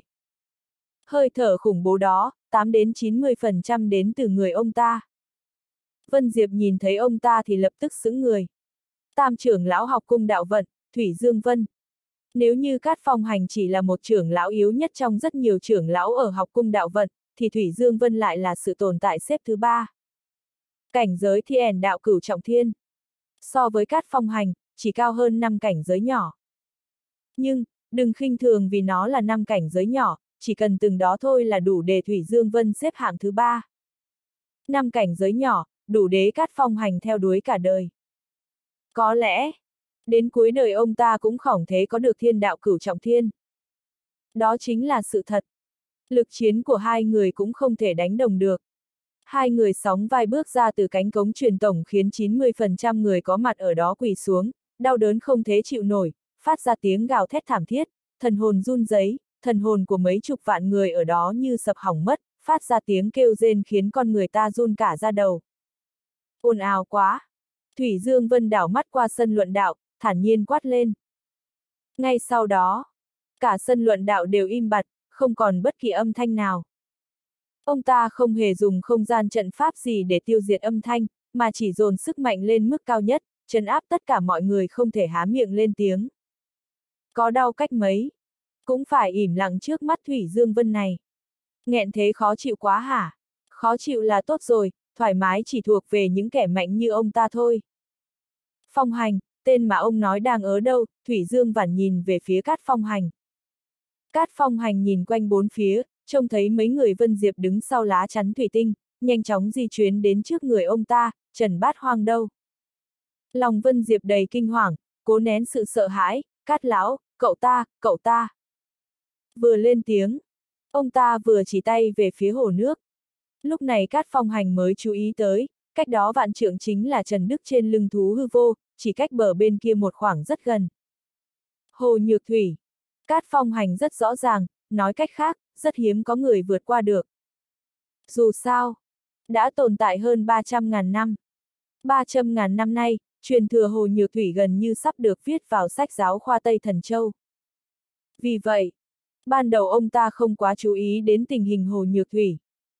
Lúc này, thấy Trần Đức đã đi về phía trước hơn 10.000 trượng, từ ba bốn chục ngàn mét, toàn thân ông ta cứng đờ, đồng tử co rút, trong lòng nổi lên từng đợt sóng ngút trời, còn kinh hoàng hơn cả chuyện Trần Đức có thể đánh lui ông ta. Thủy Dương Vân sau đó chạy tới cũng như vậy. Khuôn mặt như hóa đá, cứng đờ muốn đòi mạng. Dưới chân hắn là thú hư vô, Thủy Dương Vân vẻ mặt chảm chú, thú hư võ hay có tẻn là thú thủy hư, loài thú này được ghi chép trong danh mục thú của đại thiên thế giới, là một loài thú dữ hiếm có, tuổi thọ cực kỳ dài, gần giống với rùa cá sấu dưới đáy biển, cực kỳ hung dữ và tàn khốc. Loại thú dữ này lại, lại cõng Trần Bát Hoang vượt qua hồ nhược thủy. Thủy Dương Vân hoài nghi có phải mình mặt mờ nhìn nhầm hay không? Tam trưởng lão, mau ra tay, tuyệt đối không thế để hắn leo lẽn bờ bên kia, không thế cho hắn có bất kỳ cơ hội nhận được truyền thừa, nếu không thì học cung đạo vận sẽ lâm nguy mất. Im lặng trong chốc lát, cuối cùng Cát Phong Hành thu hồi tâm tư, sắc mặt hoảng hốt, đã có chút hối hận khi đã ra tay với Trần Bát Hoang, hoài nghi có phải mình đã chọc phải người không nên chọc. Nhưng, việc đến nước này, thù đã kết phải nhổ cỏ tận gốc. Không thể. Nhưng Thủy Dương Vân lắc đầu, ông ta có suy nghĩ có mình, ra lệnh với Vân Diệp, từ giờ phút này chớ đi, không ai được tiến vào hoặc rời khỏi đảo Định Thiên, cứ nói học cung đạo vận lại giảng đạo, lập tức đóng kín đảo, cho đến khi Trần Bát Hoang quay về. Ngoài ra, chuyện ở đây, ai dám truyền ra ngoài, giết. Hả? Vẻ mặt Vân Diệp khẽ đông lại, cũng không dám hỏi nhiều, lúc này hạ lệnh xuống. Tin tức đóng kín đảo lập tức truyền khắp Tây Thần Châu. Còn hai người Cát Phong Hành và Thủy Dương Vân ở ven hồ Nhược Thủy. Một tòa cung điện đứng sừng sững, trở thành hành cung của hai người. Còn giảng đạo, nằm mơ, ủng hộ chúng mình tại L hay C Om Tam trưởng lão, sao không ra tay với Trần Bát Hoang, bên trong hành cung, Cát Phong Hành hỏi, nếu đế hắn sống sót đi ra, hai người chúng ta. Có thể sống sót rời đi hay không, rất khó nói. Trong lòng Cát Phong Hành nặng nề. Ông ta đã lĩnh hội qua sự biến thái của Trần Bát Hoang, với ý cảnh giới cố bản đã chấn động cường giả thiên đạo tứ trọng thiên ông ta. Nếu như không phải đích thân trải qua, Cát Phong Hành thả tin sinh con trai không có hậu môn còn hơn tin rằng một tẻn rác dưới cảnh giới cố bản có thể đánh nhau với mình. Loài người này một khi trưởng thành, Cát Phong Hành không dám tưởng tượng anh sẽ biến thái đến mức độ nào. Phong Hành, ỏng cần gì phải gấp gáp, Trần Bát Hoang vượt qua nhược thủy, đơn giản có ba kết cục. Thứ nhất, chết trong sương mù. Thứ hai, nhận được truyền thừa trở nên mạnh mẽ, mạnh đến mức hai người chúng ta không thể giết chết. Thứ ba, nhận được truyền thừa nhưng không kịp tiêu hóa, đề thăng không cao. Thủy Dương Vân bình thản nói, ba kết cục này, nếu như là loại thứ nhất, đương nhiên không cần nhiều lời. Nếu như là loại thứ hai, đến lúc đó tôi tự có cách khiến hắn không tính toán hiểm khích lúc trước, theo tỏi đi học cung đạo vận, trở thành người của học cung. Nếu như là kết quả cuối cùng, nhưng truyền thừa mà hắn nhận được cũng là lợi ích. Thì ra là như vậy. Cát Phong Hành nghe xong, tự cho là đúng. Suy nghĩ của Thủy Dương Vân rất kín đáo. Cho dù thế nào cũng chỉ có lợi ích với bọn họ, không có hại. Nhưng tam trưởng lão, tôi có phần nghĩ không hiếu, nếu như thật sự đề thăng đến mức hai người chúng ta không có cách nào địch nổi, ông có cách gì khiến Hân không tính toán hiểm khích lúc trước? Tạm thời giữ bí mật. Thủy Dương Vân thản nhiên nói, huống chi, khả năng này rất nhỏ, một phần vạn vạn, cực kỳ nhỏ, hai người chúng ta liên thủ, cho dù cường giả chỉ bước nửa bước vào cấp quân cũng có thể đánh một trận, ông cảm thấy dù hắn có đề thăng đi nữa, liệu nhảy được đến cấp quân không? Ha ha! Đúng vậy, Cát Phong Hành khẽ gật đầu. Nói như vậy, Trần Bát Hoang nhất định làm lợi cho người khác.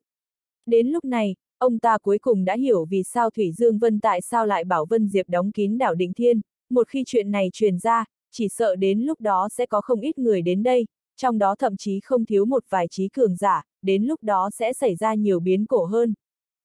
Mà bây giờ lại khác. Trần bát hoang giống như thịt trong bát hai người, bảo vật trong lòng bàn tay đế mặc cho bọn họ xẻ thịt, tàn sát. Mấy trăm người ven hồ nhược thủy vẫn không tàn đi. Từng người đang nhìn chằm chằm vào bóng lưng Trần Đức đang dần dần đi đến bờ bên kia, hô hấp cũng sắp dừng lại. Trong đám người, một cô gái đeo khán che mặt, mắt khẽ động. Gió nhẹ thổi qua, thổi một góc của chiếc khăn che. Mà, có thể rõ ràng thấy. Ngũ quan cô ấy cực kỳ tinh xảo, xinh đẹp, vừa có nét đoan trang của người phụ nữ phương Đông, lại có sự quyến rũ của phụ nữ phương Tây. An Nhã hỉ, Cô ấy đã lặng lẽ đi theo Trần Đức rất lâu, và luôn tìm cơ hội thích hợp đến gần anh, giống như lúc ở địa cầu năm đó ra tay vào thời khắc nguy nan, chưa từng nghĩ cho đến tận bây giờ vẫn không có cơ hội. Không chỉ không có cơ hội, còn bị bao vây ở đảo Định Thiên. Đảo Định Thiên lúc này đã hoàn toàn bị đóng kín, gió thổi không lọt, không chỉ tu sĩ không có cách nào đi qua, ngay cả thông tin cũng không thể truyền ra ngoài. Giống như đi tới địa cầu, không có bất kỳ nơi nào có thể truyền tin. Vậy cũng tốt. An Nhã Hy lấm bẩm trong lòng, nói thật thì cô ấy đã thật sự yêu Trần Đức từ khi còn ở địa cầu, nếu như không phải Trần Nguyên Vũ quá mạnh mẽ, lại có ơn với mình, có lẽ cô ấy đã sớm thoát khỏi ông ta rồi. Sâu trong nội tâm cô ấy không hy vọng Trần Đức xảy ra chuyện ngoài ý muốn. Lúc này đảo Định Thiên đóng kín hết tất cả tin tức, không truyền ra ngoài, Trần Nguyên Vũ cũng không thế trách cô ấy, mà cô ấy cũng không cần tự trách. Trần Đức, anh tự thu xếp đi, An Nhã Hy khẽ thở dài. Cùng giây đó. Cuối cùng, Trần Đức đã đến. Đến bờ bên kia hồ nhược thủy. Anh hít sâu một hơi, cảm nhận lớp sương mù màu đỏ chẽn bờ, trong lòng rét lạnh, đây là sát khí, toàn bộ là sát khí, đừng nói với tôi chính là cường giả cấp quân đến đây cũng bị hòa tan trong nháy mắt. Không sai. Thiên yêu hoàng cười hắc hắc, đồ ta đế lại nơi này cơ bản không phải truyền thừa gì, vốn dĩ định giữ đường lui cho mình, trên đời này ngoại trừ tôi, không ai có thế giành được, ngược lại càng lợi cho tẻn nhóc cậu. Cậu nghe cho kỹ, theo nhịp bước của tôi lên bờ. Được. Trần Đức nâng cao tinh thần. Tiếp đó, theo chỉ thị của thiên yêu hoàng, một bước nhảy ra. Một bước này chỉ vừa đủ lên bờ. Cùng giây đó, thú hư vô lặn xuống nước, biến mất tăm. Trần Đức đứng trên bờ, chờ đợi chỉ thị tiến một bước. Lão yêu hoàng hơi suy tư nói, đi về phía trước 10 bước, lùi về phía sau 3 bước, lại đi về bên trái 5 bước, tiếp tục sang phải một bước, lùi sau 3 bước, tiến trước 7 bước. Xin hỏi, tổng cộng đi bao nhiêu bước, Trần Đức theo bản năng tiếp lời, nghĩ đến một vài đề toán ở địa cầu. Lời vừa dứt, không khỏi ho khan, dựa theo lời thiên hẻo hoàng nói, từ từ tiến về phía trước. Trần Đức đi về phía trước. Trái phải trên dưới, số đường đi rất phức tạp, có điều nhìn thì giống như rất lâu mới có thể tiến một bước, nhưng mỗi lần đến một giao điểm nào đó, như đạp lên trận văn, trong nháy mất tiến về phía trước hàng trăm km. Đây là trận pháp 300.000 năm trước thiên yêu hoàng đã đế lại. Hơn nữa, còn là tự nghĩ ra. Trong thiên hạ, trừ phi ông ta tự mình đến, hoặc có chỉ đạo ngay tại đẩy của ổng ta, bằng không chẳng ai có thể đi về phía trước. Huống chỉ, nhược thủy và huyết vụ chỉ là hai thử thách đầu tiên, phía sau hai loại này còn có 97 loại nữa. 99 tầng cửa ải, tầng này còn khó hơn tầng kia. 99 cách, luôn có một cách giết chết bạn. Năm đó đổ bổn yêu hoàng để lại vốn dĩ là con đường lui cho bản thân, hy vọng tương lai khi đi vào đường cùng có thế dùng đến, ai ngờ thoáng một cái đã 300 ngàn năm, lão yêu hoàng xúc động thốn thức, bãi bế nương dâu, năm tháng như thoi đưa, 300 ngàn năm qua, đại thiên thế giới đã thay đổi rất rất nhiều, bất luận là dáng vẻ hay con đường tu hành, tất cả đều biến hóa động trời. Có một vài thứ xoay chuyến theo thời gian trở nên ngày càng tân tiến, ngày càng mạnh, như trận pháp, pháp bảo, v, v, mà có thứ lại ỉ hoàn toàn mất đi truyền thừa, yếu hơn đời trước, như công pháp, võ kỹ, thần thông. Không ngờ đến đây một lần nữa đã là 300 ngàn năm, tâm tình lão yêu hoàng có chút xúc động, nhớ ban đầu khi ông ta đến đây, mặc dù vật cưỡi là chủ của thiên tâm ấn ký, nhưng cũng là vua tộc yêu, hào hoa phong nhã, kiêu ngạo biết bao. Mà nay, đã bị nhốt trong tượng đồng 300 ngàn năm. 300 ngàn năm qua. Không lúc nào ông ta không nghĩ thoát khỏi tượng đồng. Hôm nay, cuối cùng sắp thoát rồi. Ông ta có chút kích động. Đồng thời, cũng biết rõ một khi Trần Đức kích hoạt thiên tâm ấn ký, thứ anh đối mặt sẽ là loại gặp gỡ nào. Đến lúc đó, không chỉ là Trần Nguyên Vũ của nhà họ Trần, mà trên đời đều là địch. Đi về trước 16 bước, phía sau 17 bước. Thiên yêu hoàng tiếp tục chỉ đạo Trần Đức tiến về vào. Năm canh giờ sau, cuối cùng đã xuyên qua sương mù dày đặc. Sau sương mù dày đặc, là một nơi vực sâu.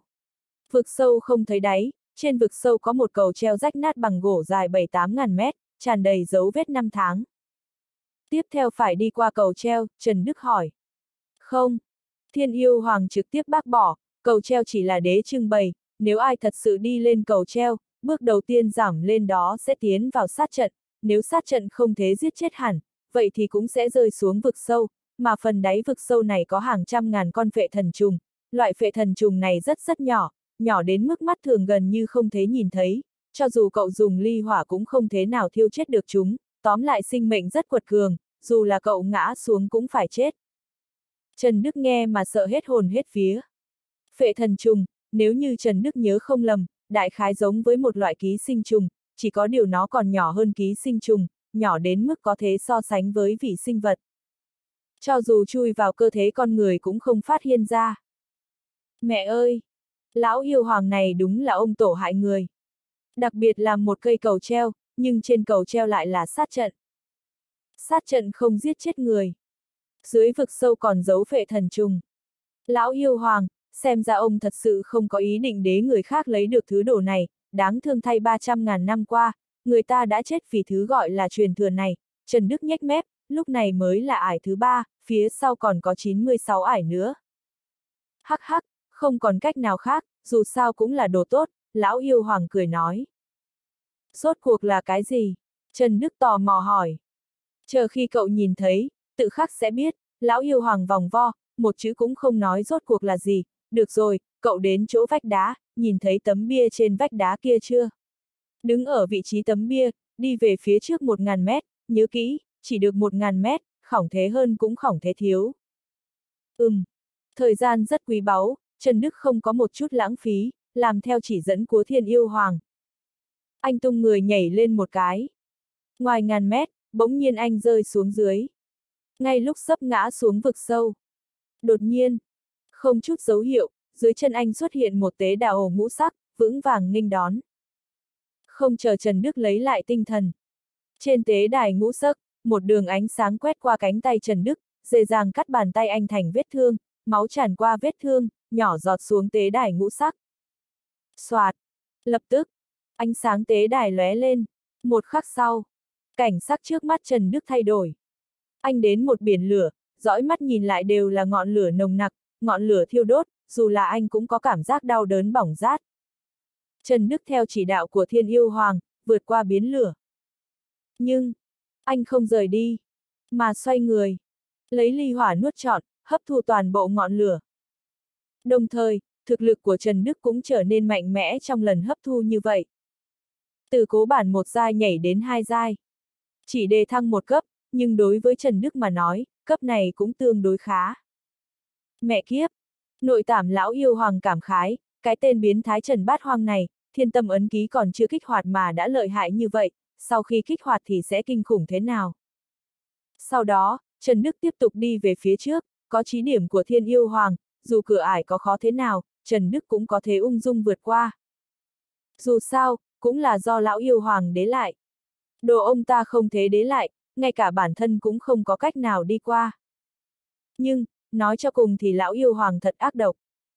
Trần Đức tiến về 90 ải phía trước, gần như ải sau phức tạp hơn ải trước, ải này khó đến đòi mạng hơn ải kia, nếu không có trí điếm của ông ta, đừng nói đến cấp quân, cho dù là cấp quân hay cấp tôn trên cấp quân, e rằng cũng khó mà đi được đến đây.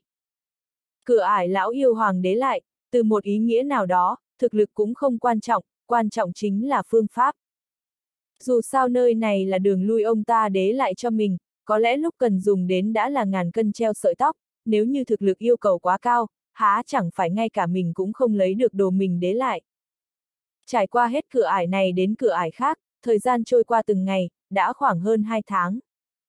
Hơn 2 tháng qua, Trần Đức một khắc cũng không dừng lại, đồng thời suýt xoa thủ đoạn mạnh mẽ lão yêu hoàng để lại, cũng ngày càng tò mò rốt cuộc thứ ông ta để lại là gì mà cần phải bảo vệ như vậy. Còn ba ải cuối cùng, lại vượt qua một vùng đất dữ, trong lòng Trần Đức cảm thán, quả thật đã nhảy vào một ao đầm, ao đầm trên thực tế là một truyền tống trận. Ánh sáng rực rỡ thoáng qua, trước mắt Trần Đức lại một lần nữa khôi phục cảnh tượng. Nơi này là sa mạc hoang vâng, nối liền với bầu trời, vừa nhìn liền không thấy cuối, cho người ta một loại cảm giác vô cùng tuyệt vọng, vô cùng buồn tẻ. Đó là, một giây kế tiếp, Trần Đức kinh hoàng. Phía trước 3.000 mét, lại có một người đang ngồi. Ông ta mặc áo dài trắng, không nhiễm một hạt bụi, tóc bạc hoa dâm, ngồi trên mặt đất, không nhúc nhích, giống như đang tu hành, trong cơ thể có sinh mệnh đặc thù, đưa lưng về phía Trần Đức. Có người. Trần Đức lập tức cảnh giác, lão yêu hoàng, người đó cũng là cửa ải ông để lại ở đây sao? Chẽn sa mạc vỏ biên vô tận, một bóng người ngồi đó, khí thức sinh mạng phập phồng, chứng tỏ ông ta là một người đang sống, chứ không phải là tử thi. Phải biết rằng, dưới cùng của biểu mẫu, nơi này là cửa ải thứ 97. Cách thứ đổ thiên yêu hoàng đế lại đã rất rất gần. Thời điểm này đột nhiên có một người xuất hiện, một người còn sống, vượt qua 96 cửa ải mà không chết, điều đầu tiên Trần Đức nghĩ đến chính là cường giả thiên yêu hoàng đế lại ở đây. Nhưng, rất nhanh, thiên yêu hoàng liền bác bỏ, ngay cả bản thân ông ta cũng bị dọa cho giật mình, người đó chắc là tới tìm bảo vật, không ngờ trên đời này lại có người có thế đến đây, hắn rất mạnh, cậu phải cẩn thận một chút. Ừm, không cần thiên yêu hoàng nói, người có thế đi đến đây, dùng chân nghĩ cũng nhất định có chỗ hơn người. Điều quan trọng nhất là, anh không nhìn ra cảnh giới của đối phương, đối phương ở trong mắt mình giống như một người bình thường không thế bình thường hơn, không có chỗ nào khác người. Trên thực tế, người đến đây có thế bình thường sao? Bằng tâm mà nói, nếu như không có thiên yêu hoàng, dựa vào bản thân, Trần Đức tự nhận mình tuyệt đối không thể đi được đến đây. Mà người kia lại làm được. Cũng tốt, Trần Đức cách người đó 3.000 mét, anh giấu khí tức, tạm thời đối phương vẫn chưa phát hiện ra anh. Lão yêu hoàng, sa mạc này có chỗ nào đặc biệt không? Suy nghĩ một chút, Trần Đức hỏi. Không có. Lão yêu hoàng lắc đầu, ở đây chả có gì đặc biệt, chỉ có điều sa mạc này không có điếm cuối, đi đến đây nếu không có thần hồn của tôi dẫn đường, vĩnh viễn chạy không thoát. Trần Đức, cái này còn nói không đặc biệt. Thần hồn dẫn đường là có ý gì? Nói trắng ra là không có lão yêu hoàng đích thân đến đây thì không ai đi ra được. Mẹ kiếp! Nếu là cửa ải trước đó, dựa vào học vấn phong phú, thực lực, may mắn, v, v, thì sẽ có một phần triệu triệu triệu cơ hội thông qua, cửa ải này con mẹ nó hoàn toàn là trổ chết rồi còn gì. Trần Đức sắp cạn lời rồi, còn cẩn thận như vậy sao? Nhưng sự thật chứng minh, cẩn thận một chút là đúng, cho dù cửa ải phía trước khó khăn muốn đòi mạng, nhưng vẫn có người đến được đây không phải sao. Trần Đức bình phục tâm tình, không có lựa chọn trực tiếp rời khỏi nơi này, anh quyết định sẽ gặp người đó, anh cố ý giải phóng từng tia khí tức, trong nháy mắt, bóng người phía trước biến mất. Một giây kế tiếp, Trần Đức còn chưa hồi phục tinh thần, ông ta đã đứng trước mặt anh, gần trong gang tấc. Cho đến lúc này, Trần Đức mới nhìn rõ dung mạo của ông ta. Mặc dù ông ta tóc bạc hoa dâm, nhưng mặt mũi cũng cực kỳ trẻ, hào hoa phong nhã, như đang ở những năm tháng hoàng kim, oai hùng tỏa sáng, đứng trước mặt Trần Đức thẳng tép giống như một cây tùng già, một luồng khí quang minh chính đại dạo dực. Mặc dù đối phương rất mạnh, nhưng cũng rất ấm áp, không phát ra bất kỳ uy áp gì, thậm chí cố ý thu liềm lại, nước chảy không lọt, mày kiếm mặt sáng đang quan sát Trần Đức. Tiền bối. Trong giọng nói Trần Đức mang theo vài phần cung kính, người đàn ông trước mắt mặc dù trẻ tuổi, trên thực tế, Trần Đức cảm nhận được khí tức năm tháng từ chẽn người ỏng ta, số tuổi thật e rằng đã rất cao. Trên cùng của biểu mẫu. Dưới cùng của biểu mẫu. Mấy trăm ngàn năm, mấy trăm ngàn năm rồi, cuối cùng đã có người đến được đây, một lúc sau, người đàn ông khẽ mở miệng, nói mấy chữ bằng giọng khản đặc, giống như rất lâu rồi không nói chuyện, nhưng chỉ với mấy chữ đã khôi phục lại bình thường, giọng nói ông ta tràn đầy uy nghiêm và tự tính. Chỉ tiếc cậu giống tôi, bị kẹt đến đây, e rằng cuộc đời này cũng không có cách nào rời đi, người đàn ông áo trắng bồng bềnh, cho dù ở trong sa mạc vẫn không nhiễm một hạt bụi, tóc trắng bay phất phới, rất có phong cách thần tiên Tiền bối. Trong lòng Trần Đức kinh hãi. Mấy trăm ngàn năm, nói cách khác, người trước mắt mấy trăm năm trước đã đến đây rồi, điều quan trọng nhất là tuổi đã mấy trăm ngàn tuổi, nhưng nhìn vẫn trẻ tuổi, khí huyết thịnh vượng, phải mạnh đến thế nào? Phải biết rằng, tuổi thọ bình thường của tu sĩ đại thiên thế giới nếu không dùng phương pháp đặc biệt, cùng lắm cũng chỉ 200 ngàn năm. Mấy trăm ngàn tuổi còn có thể giữ được dung mạo trẻ tuổi như vậy, trong lòng Trần Đức có chút rét lạnh. Ông đã ở đây mấy trăm ngàn năm rồi, dám hỏi tiền bối tôn tính đại danh. Khóe miệng người đàn ông áo trắng nhếch lên vẻ tươi cười, lại một lần nữa ngồi xuống, tính toán thời gian thì đã. 130.000 năm, năm đó tới đây tôi cũng mới 60.000 tuổi, đến nay cũng xem như là đại hạn buông xuống, còn về tên họ. Họ kép hiên viên, tên anh hùng. Hiên viên anh hùng. Tên này vừa nói ra. Toàn thân Trần Đức đều đông cứng. Ngược lại không phải vì tên tự xưng là anh hùng. Mà cái tên này, Trần Đức đã từng nghe qua. Vừa đến đại thiên thế giới, anh đã tìm hiểu sâu một chút về lịch sử và thế lực của đại thiên thế giới. Hiên viên, một trong chín thế gia viền cổ lớn. Gia tộc nằm ở Nam Hạ Châu. Mà Hiển viên anh hùng. Chính là tồn tại càn quét phong vân, danh chấn đại thiên thế giới từ mấy trăm ngàn năm trước. Người này cũng như tên gọi, vô cùng có khí khái anh hùng.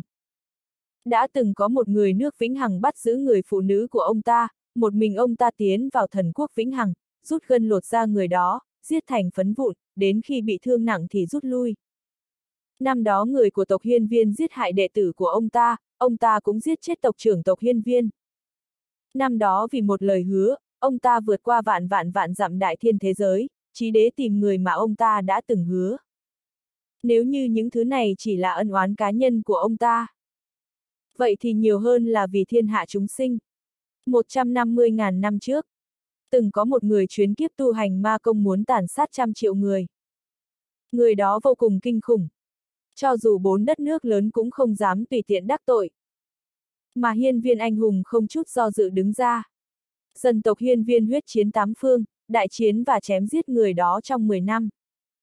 140.000 năm trước, Nam Hạ Châu gặp phải thiên tai, chẳng biết tại sao trời giáng xuống trừng phạt, Nam Hạ Châu chết rồi bị thương vô số, hiên viên anh hùng mặc kệ gia tộc phản đối, không chút do dự ra tay, bất chấp nguy hiểm gia tộc bị lật đổ, thu nhận hàng trăm tỷ người vào tộc, cung cấp nơi tị nạn, cung cấp tài nguyên tu luyện, v, v.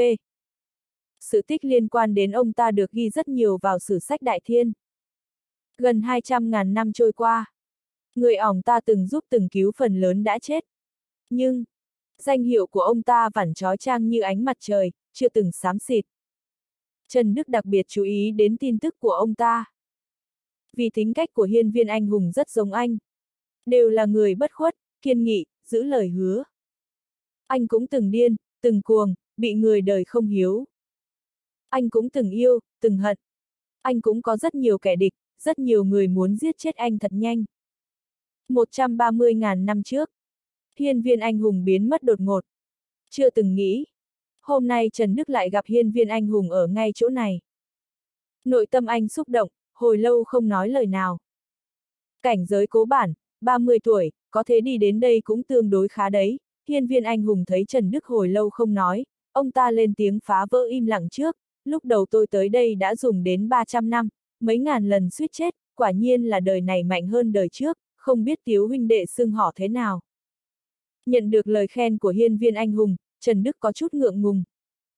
Dù sao thì, anh có thể đến được nơi này đều nhờ vào thiên yêu hoàng hướng dẫn. Nhưng chuyện này tất nhiên không thể nói ra được, với anh mà nói, dù là thiên yêu hoàng, hay là linh lung thì đều là bí mật, huống chi cả hai người họ cũng không muốn đế lộ bản thân mình.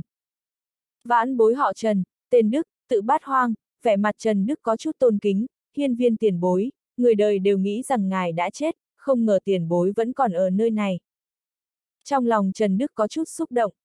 Người đời đều biết, nếu như Hy ẻn viên anh hùng còn sống, thì hôm nay tộc hiên viên sẽ không phải là thế gia viễn cổ, bốn quốc gia lớn mạnh nhất lại càng không phải bốn mà sẽ là năm.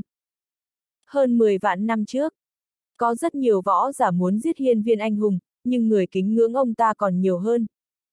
13 vạn năm, bị nhốt ở nơi này suốt 13 vạn năm, người bên ngoài nghĩ rằng tôi đã mất cũng là chuyện bình thường, hiên viên anh hùng thản nhiên cười nói, thần chí rất tính táo, không hề mất đi ý chí chiến đấu vì 13 vạn năm bị giam giữ ở đây. Ông ta là người có trái tim cứng rắn như sắt đá, mỗi một ngày trôi qua ở đây ông ta đều nghĩ cách để thoát ra. 13 vạn nảm tươi đẹp đó đều hao mòn ở nơi này. Tiếc là, nơi này quá huyền ảo, cả người mạnh như hiên viên anh hùng cũng không thể tìm được cách để rời đi. 13 vạn năm. Cũng may là ông ta đủ mạnh mẽ, nếu không, lượng linh khí loãng nơi này đã khiến khí huyết ông ta khô cạn mà chết đi rồi. Bản thân tôi cũng không sao, đã là đèn cạn dầu mất rồi, phải thiêu đốt máu huyết của mình để kéo dài hơi tàn, đáng tiếc chính là cậu vẫn còn rất trẻ, là khoảng thời gian rực rỡ nhất, cũng sẽ hao mòn ở nơi này, hiên viên anh hùng cảm thấy đáng tiếc cho Trần Đức, lặc đầu than thở. Trần Đức kinh hãi. Không ngờ hiên viên anh hùng lại thiếu đốt máu huyết đế duy trì mạng sống, thảo nào ông ta vẫn giữ được trạng thái trẻ trung như thế. Hoàn toàn không giống một người chìm trong đại nạn, dầu sắp hết và đèn sập tắt, lại càng không giống một kẻ bị giam giữ ở đây 13 vạn năm. Trần Đức không hề nhìn thấy được vẻ suy tàn từ vẻ ngoài của ổng ta. Ngược lại còn tạo cho con người ta cảm giác ngập tràn hy vọng, đầy tinh thần phấn chấn. Người này rất giống với tên của mình, có được khí phách của một anh hùng. Lão yêu hoàng, có cách nào để giúp ổng ấy trực tiếp từ nơi này ra thế giới bên ngoài hay không? Trần Đức thầm hỏi, dù sao đây cũng là nơi mà lão yêu hoàng tạo ra, theo lý nào đó mà nói, chính lão yêu hoàng đã làm lỡ mất 13 vạn năm huy hoàng của hiên viên anh hùng. Tất nhiên, điều này cũng không thế trách lão yêu hoàng, nếu hiên viên anh hùng không tiến vào đây tìm cơ duyên thì đã trắng bị nhốt lại đây từng đó năm. Trước mắt, chỉ có lão yêu hoàng mới đủ sức giúp hiên viên anh hùng rời đi. Không có, đã đi tới đây rồi thì chỉ có thế tiến về phía trước, trừ khi cậu và cậu ta cùng đến điếm cuối cùng. Chỉ có đi đến điếm cuối cùng thì mới trở về được, nếu không cậu nghĩ xem tại sao cậu ta vẫn còn ở đây. Nhưng mà, một khi người này đến đó, những bảo vật tôi đế lại rất có thể sẽ không thuộc về cậu nữa, mà thuộc về cậu ta, giọng thiên yêu hoàng hết sức nặng nề, cậu phải suy nghĩ thật kỹ. Trần Đức im lặng, chìm vào thế khó. Người xưa có câu không nên giáp tâm hại người, nhưng nên chú ý để phòng người khác. Thiên viên anh hùng có được khí phách của người anh hùng, nhưng nhìn thấy bảo vật, ai có thể bảo đảm ông ta sẽ không nảy sinh ham muốn. Thiên hạ này trở nên rộn ràng vì lợi ích, và nó cũng trở nên lộn xộn nhốn nháo vì lợi ích. Không có cách nào toàn vẹn cả đôi đường ư, Trần Đức hỏi. Nói chung là cũng có cách, Thiên Yêu Hoàng nói, cậu có thể ký một khế ước với cậu ta giống như tôi, vĩnh viễn không được tốn thương cậu, trở thành tùy tùng, nô bộc của cậu, hoặc là trở nẻn mạnh mẽ hơn cậu ta, cả hai cách đó, cậu cảm thấy xác suất thực hiện được là bao nhiêu? Có thể nói là bâng không, Trần Đức cười khổ. Nhìn lại lịch sử, hiên viên anh hùng có cúi đầu trước bất kỳ người nào không? Dù chết vẫn dũng cảm đánh vào thần quốc Vĩnh Hằng, nên biết rằng khi đó nước Vĩnh Hằng vẫn chưa mạnh mẽ và khổng lồ như bây giờ, nhưng cũng là một con quái vật rất lớn, nội bộ vẫn chưa chia rẽ, khi đó không được gọi là thần tộc, mà là nhất mạch thần ma. Nói tóm lại, nhất mạch thần ma khi đó, thực lực gộp lại còn mạnh hơn bây giờ rất nhiều. Mà hiên viên anh hùng vẫn không sợ sống sợ chết, đánh giết vào trong. Gặp nạn không sợ, có thể thấy ỏng ta là người có tính cách như thế nào. Cứu, hay là không cứu? Trần Đức vô cùng do dự. Cậu trai trẻ, tôi đã chìm vào đại nạn, cùng lắm chỉ còn trăm năm thời gian, thay vì sống tạm bỡ hết trăm năm còn lại, chẳng thà tôi truyền lại hết những gì mình có, những thứ mình học được cùng với tất cả mọi thứ mà tôi đã tu luyện cả đời cho cậu, có lẽ sau này cậu sẽ tìm được cách rời khỏi đây. Mái tóc hiên viên anh hùng bay bay, đầy khí phách và lòng can đảm, mà tôi cũng có thể cưỡi hạc về trời, không chấp mê bất ngộ về việc phá giải sự huyền ảo của nơi này nữa. Cái này, lòng Trần Đức chợt rung động. Nên biết rằng truyền lại những thứ tu luyện cả đời khác với truyền lại tảm đắc tu luyện. Truyền lại tâm đắc cũng giống như mời về một gia sư, còn việc học vẫn phải xem bản thân người đó, sau khi có được những tri thức và lý luận thì sẽ tự bước đi, xem thử vận số của mình thế nào. Mà truyền lại tất cả mọi thứ tu hành cả đời, cũng như truyền lại mớ gia sản kết xù tích góp được cho một người khác. Mà khi đống gia sản đó được trao hết cho người kia, thì người trao tặng cũng sẽ đột tử. Thực lực của người được truyền lại cũng sẽ điên cuồng tăng lên. Tất nhiên, sự tăng trưởng đó sẽ không thế vượt qua người trao tặng, nhưng dù thế, thì một võ giả bình thường, có chết cũng sẽ không truyền lại tu vì cả đời của mình cho người khác. Có ba lý do. Thứ nhất, tuy rằng người nhận được sẽ trở nên mạnh hơn, nhưng cũng bị người trao tặng ảnh hưởng, rất có thể sẽ dậm chản tại chỗ sau khi trải qua việc gia tăng sức mạnh một cách điên cuồng. Thứ hai, thời gian cần đế trao nhận truyền thừa cũng khác nhau tùy theo thực lực, nhưng ít nhất cũng phải mất 30 năm. Thứ ba, tất nhiên là sau khi truyền lại thì bản thản sẽ người đó sẽ chết. Có đến 99% cao thủ trên đời không truyền lại tu vị của mình, suy cho cùng thì đừng nói là 30 năm, dù chỉ sống thêm một canh giờ họ cũng có thể tìm thấy cơ may ngộ đạo, có thể đột phá. Trên thực tế, cũng có rất nhiều người sống đến gần đất xa trời rồi lại đột nhẻn ngộ ra được gì đó, đột phá gông xiềng của thời gian, có thêm tuổi thọ. Mà hiên viên anh hùng thì sao? Ông ta vẫn còn trăm năm tuổi thọ. Tuy trăm năm tuổi thọ với một người đã sống hơn 10 vạn năm như ông ta mà nói chỉ là muối bỏ biến, nhưng nhỡ đâu trong chảm năm đó, ông ta tìm được cách thoát đi thì sao? Suy cho cùng, ông ta cũng không biết nơi này cần thần hồn của lão yêu hoàng hướng dần mới ra được, nên bất kỳ ai cũng sẽ ôm hy vọng trong lòng, ôm tâm lý may mân, không phải sao? Tiền bối hiên viên, tôi cảm động đến rơi nước mắt rồi, nhưng mà... Ánh mắt Trần Đức đầy sắc bén, như đã đưa ra một quyết định nào đó, thoáng dừng lại một lát, nói, nhưng mà ông không cần truyền lại tu vị của mình cho tôi, vãn bối. Có cách rời khỏi nơi này, hơn nữa còn có thế dần cả ông theo. Cuối cùng Trần Đức Vân quyết định nói ra sự thật mình có thế rời khỏi nơi này. Hiên viên anh hùng là một đáng đế kết bạn, đáng đế tôn kính. Không nói ra. Rất có thể anh sẽ hối hận và tự trách cả đời. Đời người có thế tồn tại sự tiếc nuối, nhưng không nên có quá nhiều tiếc nuối. Rời khỏi nơi này, cần đi đến điểm cuối, ừm. Cũng chính là đi đến nơi thiên yêu hoàng đế lại truyền thừa, mà tôi thì trăm phần trăm có thể đi đến đó. Cùng với từng chữ Trần Đức nói ra. Có thể thấy rất rõ. Ánh mắt hiên viên anh hùng lóe lên sự rung động, sự vui sướng. Thế nhưng, ông ta có vẻ như chợt nghĩ đến điều gì đó, bỗng trở nên nặng nề, thoáng cười khổ, cậu trai trẻ, dằn tôi đến đó rồi cậu không sợ tôi cướp mất cơ duyên của mình hả? Hiên viên anh hùng hỏi rất thẳng thắn, rất trực tiếp. Là một võ giả. Ông ta biết rất rõ cơ duyên với một võ giả mà nói là thứ quan trọng đến mức nào. Hai người xuất phát cùng một điếm, có cùng thế chất, nhưng cơ duyên lại khác nhau thì cũng dẫn đến hai kết quả và số mệnh khác nhau. Mượn hiên viên anh hùng đế nói. Ông ta chỉ còn trăm năm tuổi thọ. Mà trăm năm đó phải thiếu đốt máu huyết của ông ta, không chiến đấu với bất kỳ cao thủ nào, bình thản sống hết trăm năm này. Nhưng, một khỉ tranh chấp với cao thủ nào đó, phải chiến đấu, việc thiêu đốt máu huyết quá độ sẽ khiến ông ta không thể sống thêm dù chỉ một ngày. Ông ta cần một cơ duyên, thứ cơ duyên có thể giúp ông ta sống lão hơn thế. Thứ thiên yêu hoàng đế lại, rất có thể là thứ giúp ông ta sống lại một đời nữa. Vì vậy, ông ta mới hỏi câu đó. Sợ, một lát sau, Trần Đức đã gật đầu trả lời, hết sức bình thản. Đối mặt với một cao thủ như hiên viên anh hùng, anh không cần thiết phải giấu giếm điều gì, nói thật, truyền thừa mà thiên yêu hoàng đế lại, với tôi mà nói là vô cùng quan trọng. Thế thì lại sao cậu lại muốn dẫn tôi theo, hiên viên anh hùng cười hỏi. Không có lý do gì đặc biệt cả, chỉ là tôi không muốn thấy một người được ghi vào sử sách, từng cứu hàng trăm triệu sinh linh phải chết ở một nơi thế này, đó chính là suy nghĩ chân thật nhất trong lòng Trần Đức, thế giới của võ giả cũng rong như luật rừng, kẻ mạnh ăn thì kẻ yếu, đa số mọi người đều muốn có lợi ích về mình, đặt lợi ích của gia tộc lên trên hết. Niềm tin cũng chỉ có một. Kẻ mạnh sẽ sống, kẻ yếu phải chết. Kẻ yếu, thì đáng chết. Sẽ không có ai quan tâm đến sinh mệnh của một kẻ yếu, họ như một con kiến có thể tùy ý dẫm đạp vậy, những lời đó theo lý mà nói cũng không phải mỉa mai gì, mà chính là sự thật, đó chính là suy nghĩ trong lòng rất nhiều người. Mà Trần Bát Hoang, lại đến từ địa. Cầu, từng là một người lính.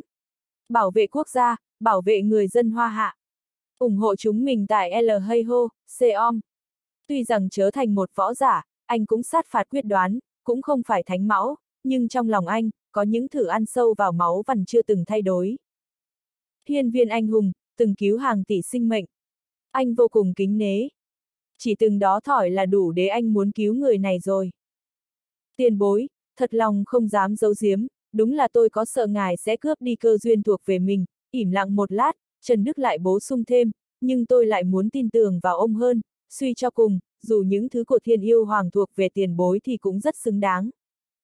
Một người đi tới tận đây bằng thực lực của chính bản thân mình. Đúng là xứng đáng.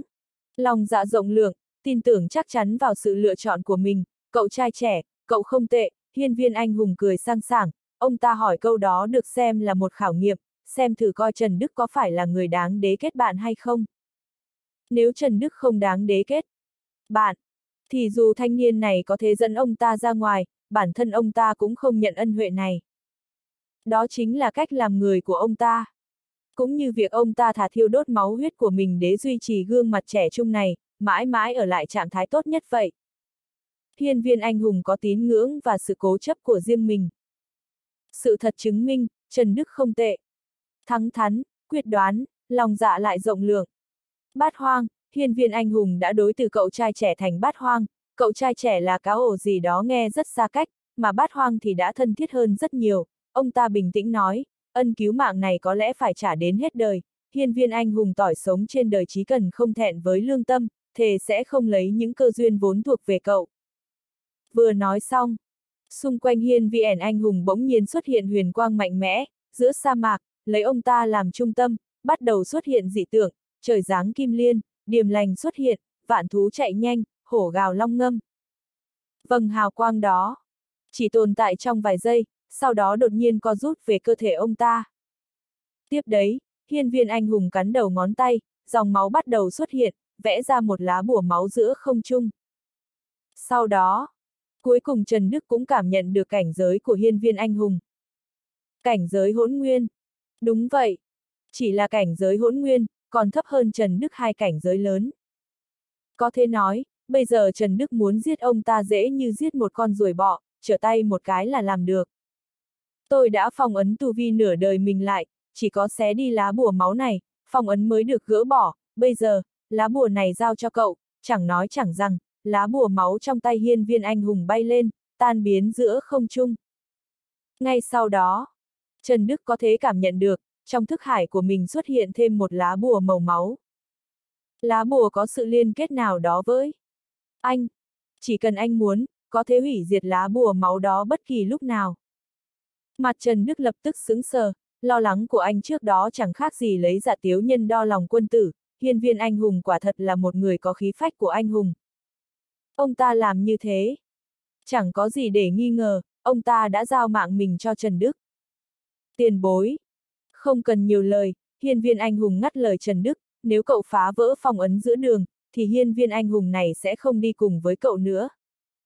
Được.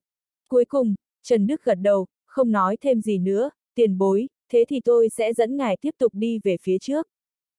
Vừa nói xong, Trần Đức đã nhanh chóng liên lạc với Thiên Yêu Hoàng.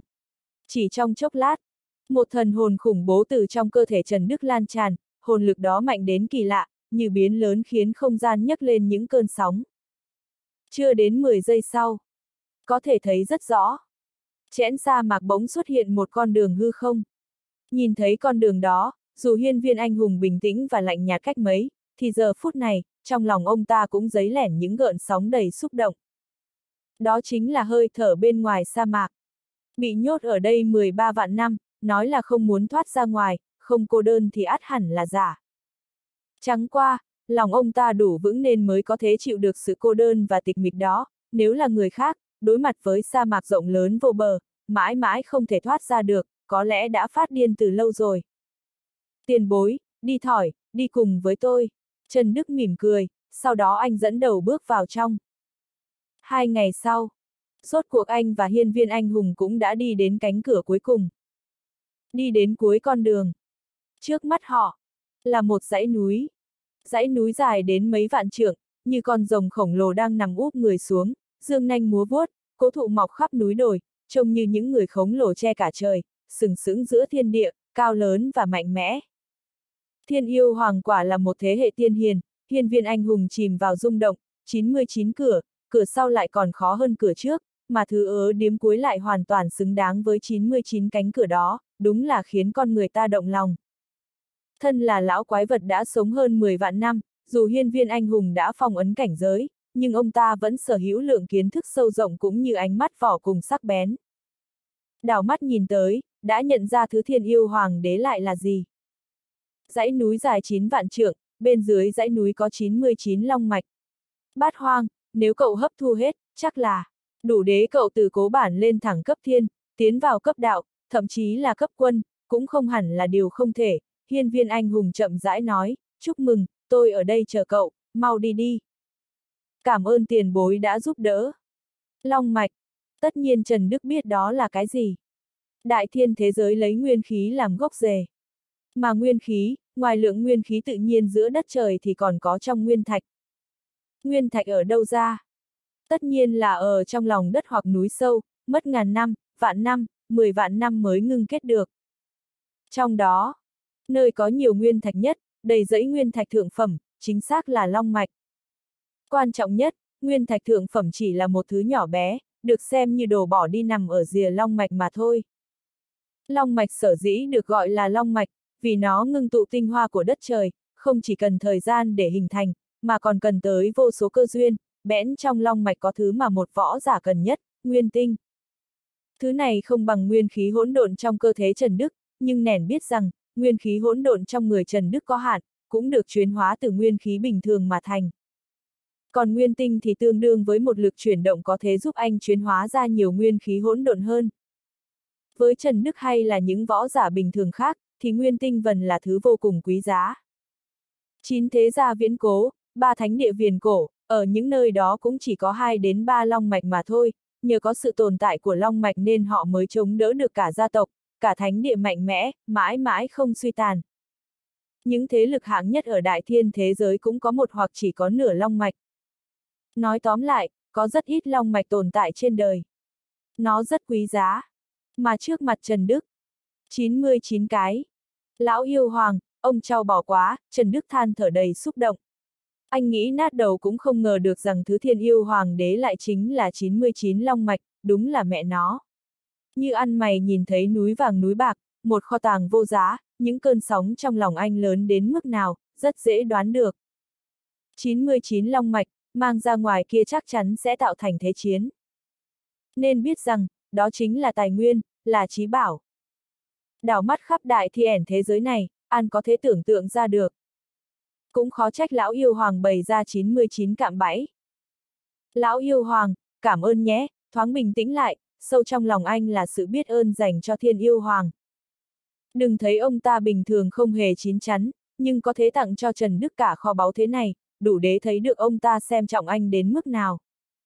Được rồi, đừng nói nhảm nữa, lòng lão già này đang nhỏ máu đây, nói thật, lão yêu hoàng cũng không nỡ. Chí bảo thế này, dù là người sắp chết đến đây cũng sẽ có được một cuộc sống mới, lòng ông ta đau như nhỏ ra máu, Trần Bát Hoang, có thấy ngọn núi cao nhất đó không? Nơi đó là trung tâm của mất trận, chỉ cần đến đó thì cậu sẽ hấp thu được long mạch. 99 long mạch, có thể hấp thu được bao nhiêu phải xem khả năng của cậu rồi, cố gắng. Một năm hút hết một cái đi. Nguyên tỉnh bên trong long mạch quá nồng đậm, võ giả như Trần Đức, trong một năm hút hết một cái đã ghê gớm lắm rồi. Võ giả, bế quan vài chục năm, mấy trăm năm cũng là chuyện bình thường. Vì thế, ông ta bảo Trần Đức thong thả hút. Moi năm một cái. Khóe miệng Trần Đức giật giật. Nói cách khác, 99 long mạch này mà muốn hút hết phải mất tận 99 năm. 99 năm sau. Chắc là người thân và bạn bè anh ở địa cầu đã chết già hết rồi đấy nhí. Cả đứa con trong bụng Âu giã tư lỉnh nữa, chắc lúc đó nó còn lớn tuổi hơn cả anh bây giờ. Thiên viên anh hùng cũng thế, ông ta vốn chỉ còn trăm năm tuổi thọ, 99 năm, sao mà chờ được. Trần Đức chớ nẻn sững sờ. Thời gian lâu như thế, anh không thể chờ được. Nhóc Trần, đừng sốt ruột, có lẽ anh không cần đến 99 năm, khi Trần Đức đang ngơ ngác thì đột nhiên, một giọng nữ vang lên trong đầu anh. Trần Đức lập tức giật mình. Linh lung. Trần Đức vừa cảm nhận đã thấy ngay sự dao động của linh lung trong thức hải. Đúng rồi. Cũng chỉ có linh lung mới hiếu rõ về anh, biết anh không thể đợi lâu thêm nữa. Anh bất ngờ, vội vàng hỏi, linh lung, cô tỉnh rồi à? Tu luyện hồi thiên thế nào rồi, có thể khôi phục lại thực lực không? Tôi đã tỉnh được một thời gian rồi, đã luyện thành hồi thiên. Mấy ngày nay vẫn luôn hấp thu nguyên khí hỗn độn. Hôm nay, coi như hồn lực đã được khôi phục hoàn toàn. Đưa tôi đến thiếu thiên địa của anh đi, tôi cần tiếp tục hấp thu nguyên khí hỗn độn ở đó, thử khôi phục thực lực thời kỳ đỉnh phong, Linh lung chậm rãi nói. Ừ. Trần Đức suy nghĩ một lát rồi lập tức đưa Linh lung tới thiếu thiên địa.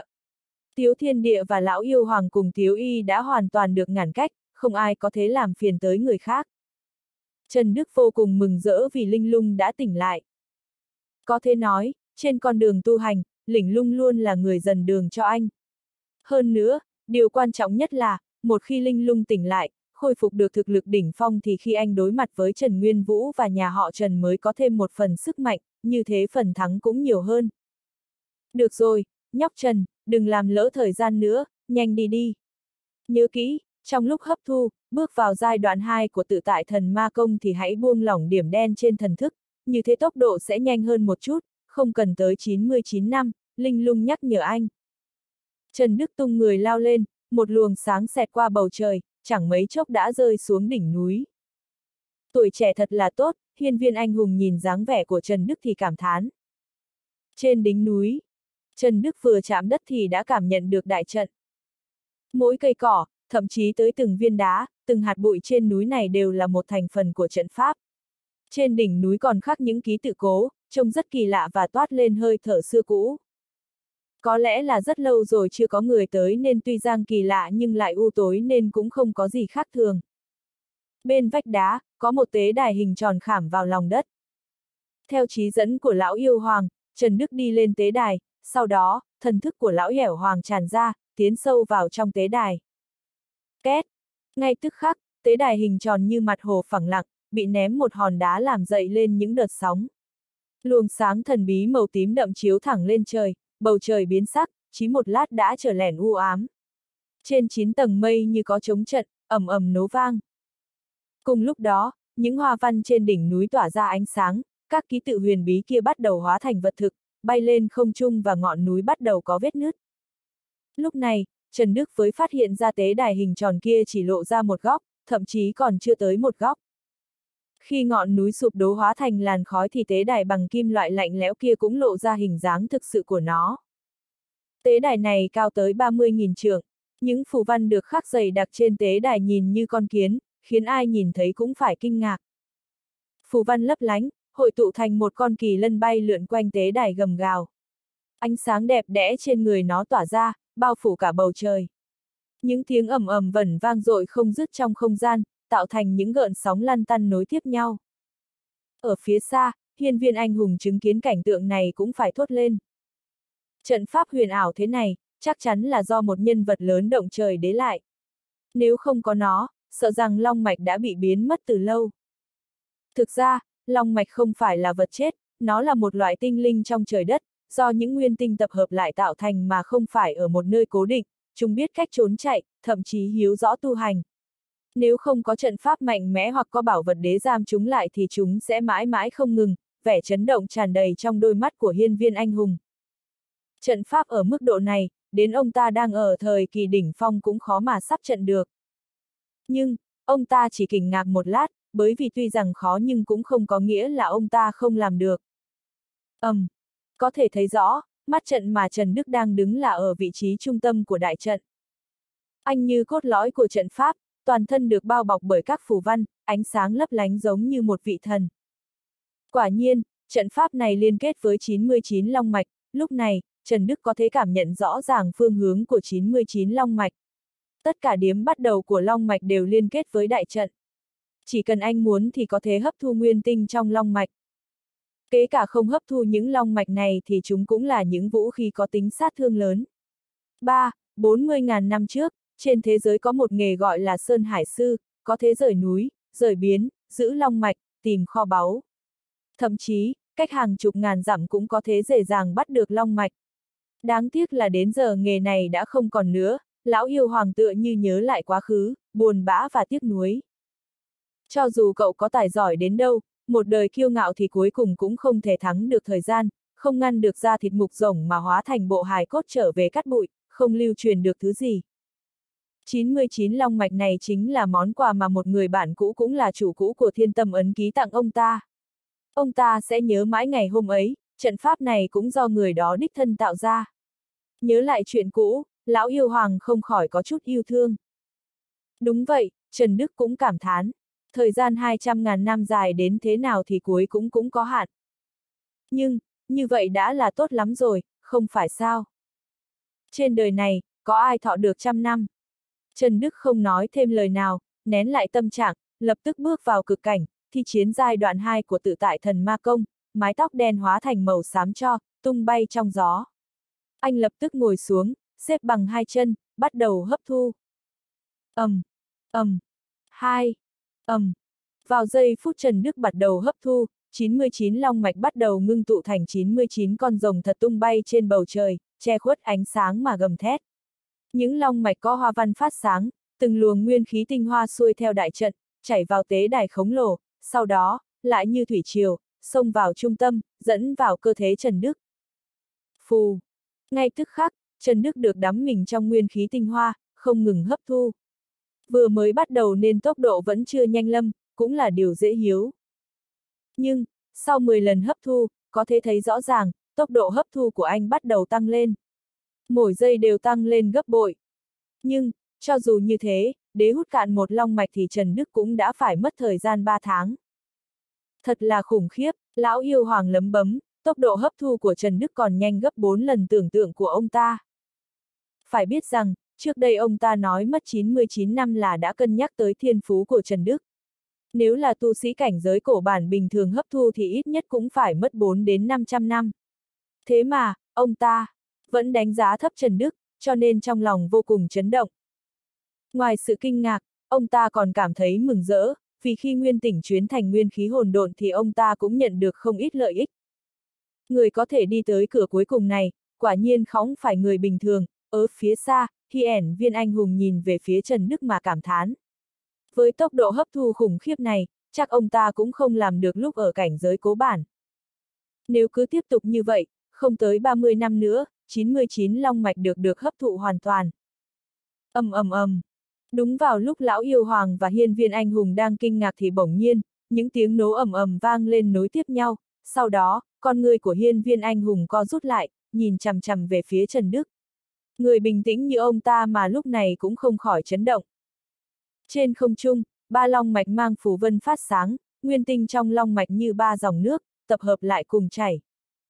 Mái tóc trắng của Trần Đức tung bay, áo choàng phấp phới, nguyên khí hỗn độn lưu chuyến, trên người anh, lúc này, mỗi lỗ chân lông đều nở to ra, giống như một hố sâu không thấy đáy, như thật như ảo, nguyên tinh của ba long mạch đồng thời chuyến động, từ bốn phương tám hướng chảy vào người anh. Gào! Bỗng nhiên, lại một long mạch gầm lén, nguyên tinh trong long mạch thứ tư đã bắt đầu bị hấp thu.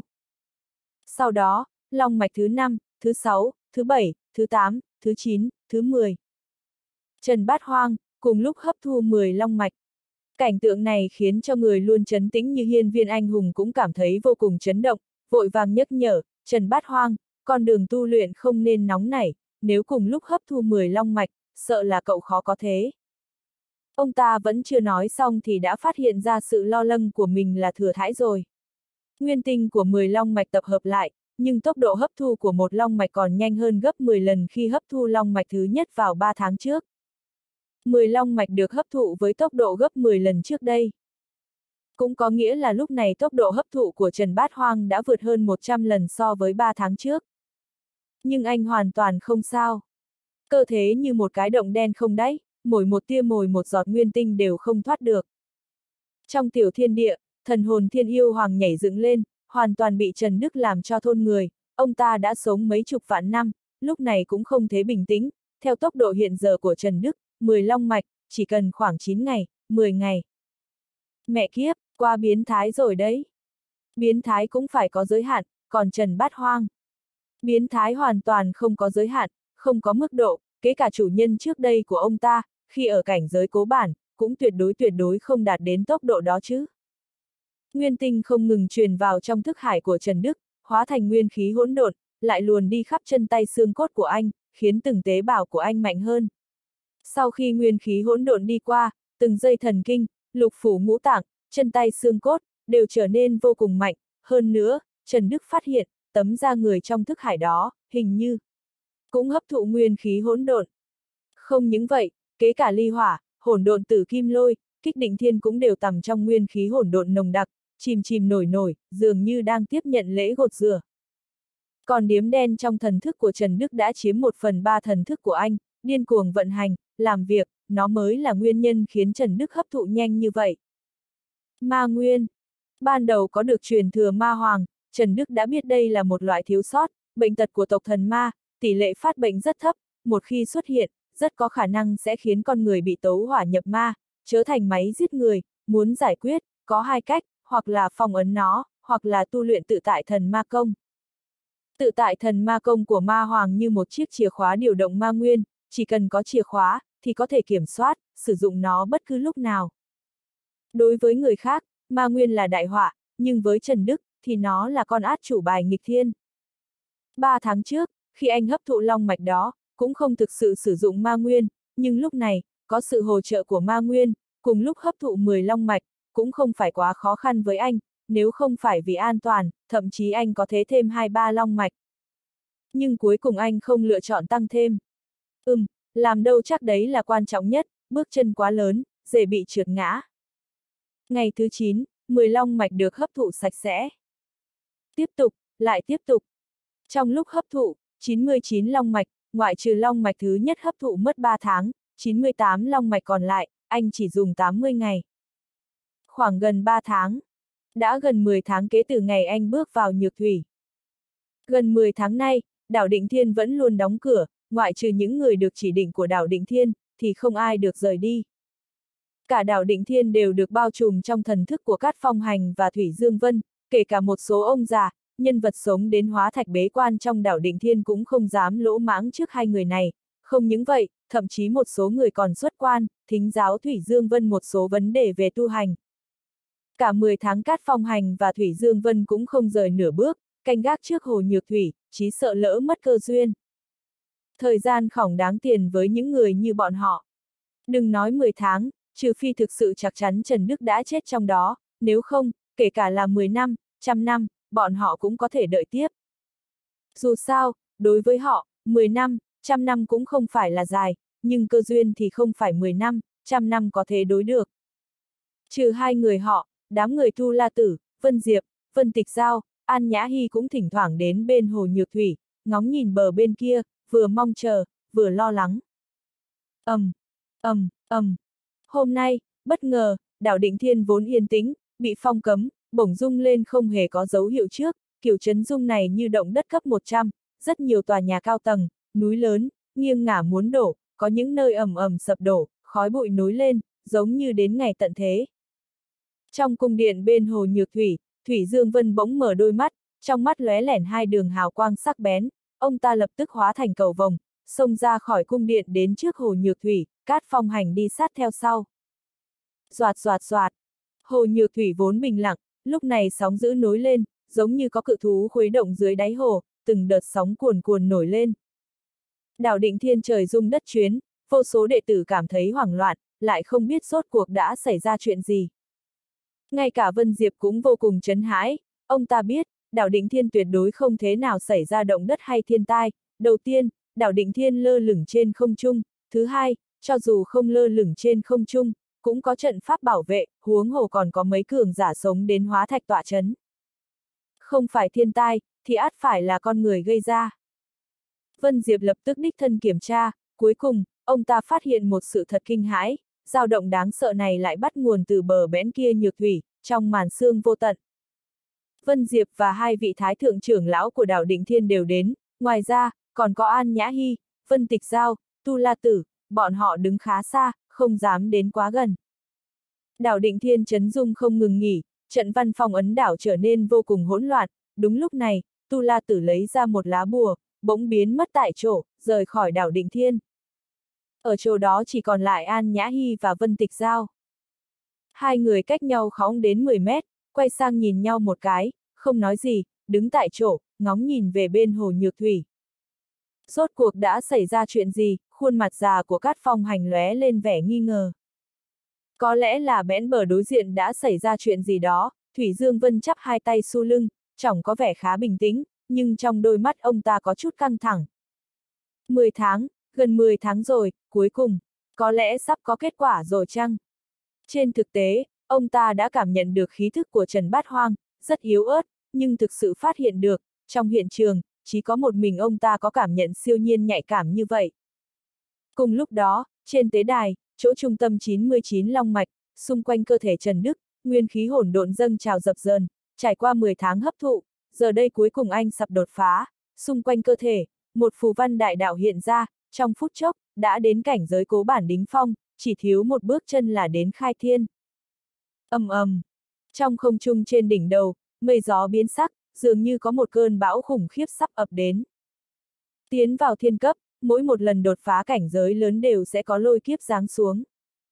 Trần Đức đã cảm nhận được, một luồng đại đạo thần uy đáng sợ đang hội tụ, sát khí dày đặc, như muốn xé xác anh thành hàng ngàn mảnh.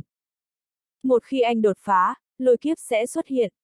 ầm, um, Đúng lúc Trần Đức cảm nhận được lôi kiếp đáng sợ, giữa đôi lông mày của Trần Đức đột nhiên lóe lên một đường sáng, kể cả đang là ban ngày, cũng sáng đến như vầng mặt trời nhỏ trong bóng tối, rực rỡ chói mắt, chói lóa đến mức mở mắt trong vùng trời này mà như bị mù.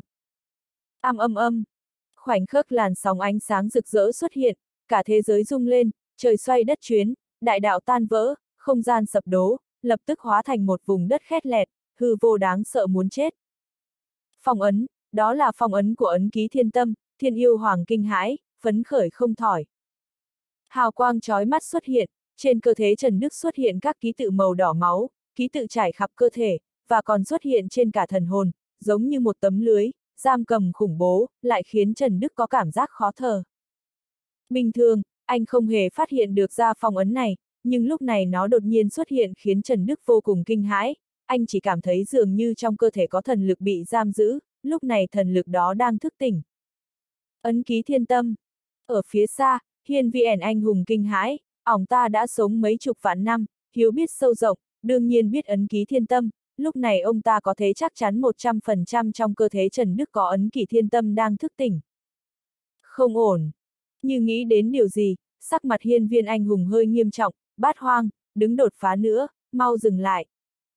Một khi ấn ký thi én tảm trong cơ thể cậu thức tính, đột phá giam giữ, sẽ khiến các nhân vật lớn dòm ngó, ra tay với cậu, lúc này không được đột phá. Hiên viên anh hùng lớn tiếng hét, đồng thời còn truyền âm bằng thần thức. Nhưng ông ta phát hiện tất cả ảm thanh đều không thể lọt vào tế đài. Bát hoang. Hiên viên anh hùng hơi trầm ngâm, sau đó vận hành nguyên khí trong cơ thể, bắt đầu đột phá phong ấn mà ông ta đế lại cho mình. Nhưng phong ấn này rất khó phá giải, ông ta chỉ có thể tiếp tục thiêu cháy tinh huyết. Phá cho ta! Hiên viên anh hùng cất giọng trầm thấp, hào quang trong cơ thể tỏa ra, mái tóc trắng tuyết cuồn cuộn. Có thể thấy rõ ràng, sắc mặt của hiên viên anh hùng đang nhanh chóng trở nên trắng bệch. Sau thời gian hơn trăm hơi thớ, phụt, hiên viên anh hùng phun ra một ngụm máu tươi. Cuối cùng phong ấn đã được phá. Giải. Thực lực của hiên viên anh hùng trở lại đỉnh phong. Ông ta không hề suy nghĩ gì, trực tiếp đi về hướng Trần Đức, hai ba bước ban đầu, ông ta còn hơi loạn choạng, suýt ngã từ trên không trung xuống, sau ba bước mới đứng vững, xông về phía tế đài của thế giới này, trước tế đài, một luồng sức mạnh ngăn ông ta ở bên ngoài. Hiên viên anh hùng cũng không suy nghĩ, giơ nắm đấm tấn công tế đài. Từng quyền liên tiếp như mãnh thú hồng hoang, tấn công mạnh lên tế đài. Lúc này, Trần Đức cũng phát giác ra hiên viên anh hùng, đúng lúc nghi hoặc. Giật giác, tế đài vỡ nứt, hiên viên anh hùng thực sự hủy diệt tế đài đó. Ông ta lập tức đến bẽn cạnh Trần Đức, điếm vào chỗ thiên linh cái của anh. Cùng lúc đó, dao động trong cơ thể Trần Đức tắt ngấm, tất cả khí tức lắng xuống, yên tĩnh trở lại. Trần Bát Hoang, lúc này không được đột phá, hẽn VN anh hùng ngước nhìn trời cao, rồi nhắc nhở Trần Đức, một khi bước vào thiên cấp, phòng ấn ấn ký thiên tâm trong cơ thể cậu sẽ được phá giải, chắc chắn sẽ thu hút các nhân vật lớn, đến lúc đó, e rằng cậu không thoát khỏi kiếp nạn. Trên thực tế, lúc Hiên VN anh hùng hồi phục thực lực, đã phát hiện được bên ngoài giới có mấy luồng khí tức đáng sợ đang phát ra ở bên ngoài, nếu không phải 99 cửa chốt là 99 thế giới độc lập, thì e rằng họ đã phát hiện ra Trần Đức. Hiên VN tiền bối, Trần Đức kinh hãi, ông nói thật ư. Đương nhiên, Hiên VN anh hùng nói, trong thiên hạ có biết bao nhiêu người nhóm ngó ấn ký thiên tâm, thông thường người có được nó đều sẽ im lặng, nhưng hình như cậu lại khác, dường như có loại phong ấn nào đó, một khi phá giải, sẽ khỏng giấu được khí thức của ấn ký thiên tàm, ắt sẽ xảy ra chuyên. Ông ta nói thật đấy, hiên viên anh hùng vừa dứt lời, thiên yêu hoàng liền nói, thấy Trần Đức sắp đột phá, giúp ông ta thoát khỏi lồng giam, trước đó ông ta kích động đến quên hết tất cả, lúc này định thần lại mới phát hiện hoàn cảnh của Trần Đức không được ổn lắm, vốn dĩ cậu có thế đột phá ở đây, dù sao, 99 cửa ải mà tôi đế lại, tương đương với 99 thế giới nhỏ, không phải người nào cũng vào được, nhưng đáng tiếc, chí tiếc, ngàn tính vạn tính, tôi không ngờ cậu mạnh như vậy, trong 3 tháng ngắn ngủi. Trực tiếp hấp thụ sạch 99 long mạch, dẫn đến 99 tiếu thế giới mất đi nguồn lực chống đỡ nó, không bao lâu nữa sẽ hoàn toàn sụp đổ, đến lúc đó, cậu chịu lôi kiếp, lại không có ai bảo vệ, chắc chắn sẽ xảy ra chuyện. Trong lòng thiên yêu hoang vừa sợ hãi, vừa hối hận. Nếu Trần Đức vừa độ kiếp, vừa bị cường giả đánh lén, thì hy vọng sống sót sẽ rất thấp, thấp đến gần như không có. Cũng may hiên viên anh hùng ngăn cản kịp thời, nếu không có ông ta, thì sẽ thành sai lầm lớn, thiên yêu hoàng hơi tự trách, chỉ đáng tiếc, vốn dĩ hiên viên anh hùng thọ đến trăm năm, bây giờ lại cố ép phá giải giam cầm mà mình đế lại, chỉ sợ, chỉ còn chưa đến một tháng. Á! Trần Đức kinh hãi. Sống thọ trăm năm, bây giờ chỉ còn một tháng.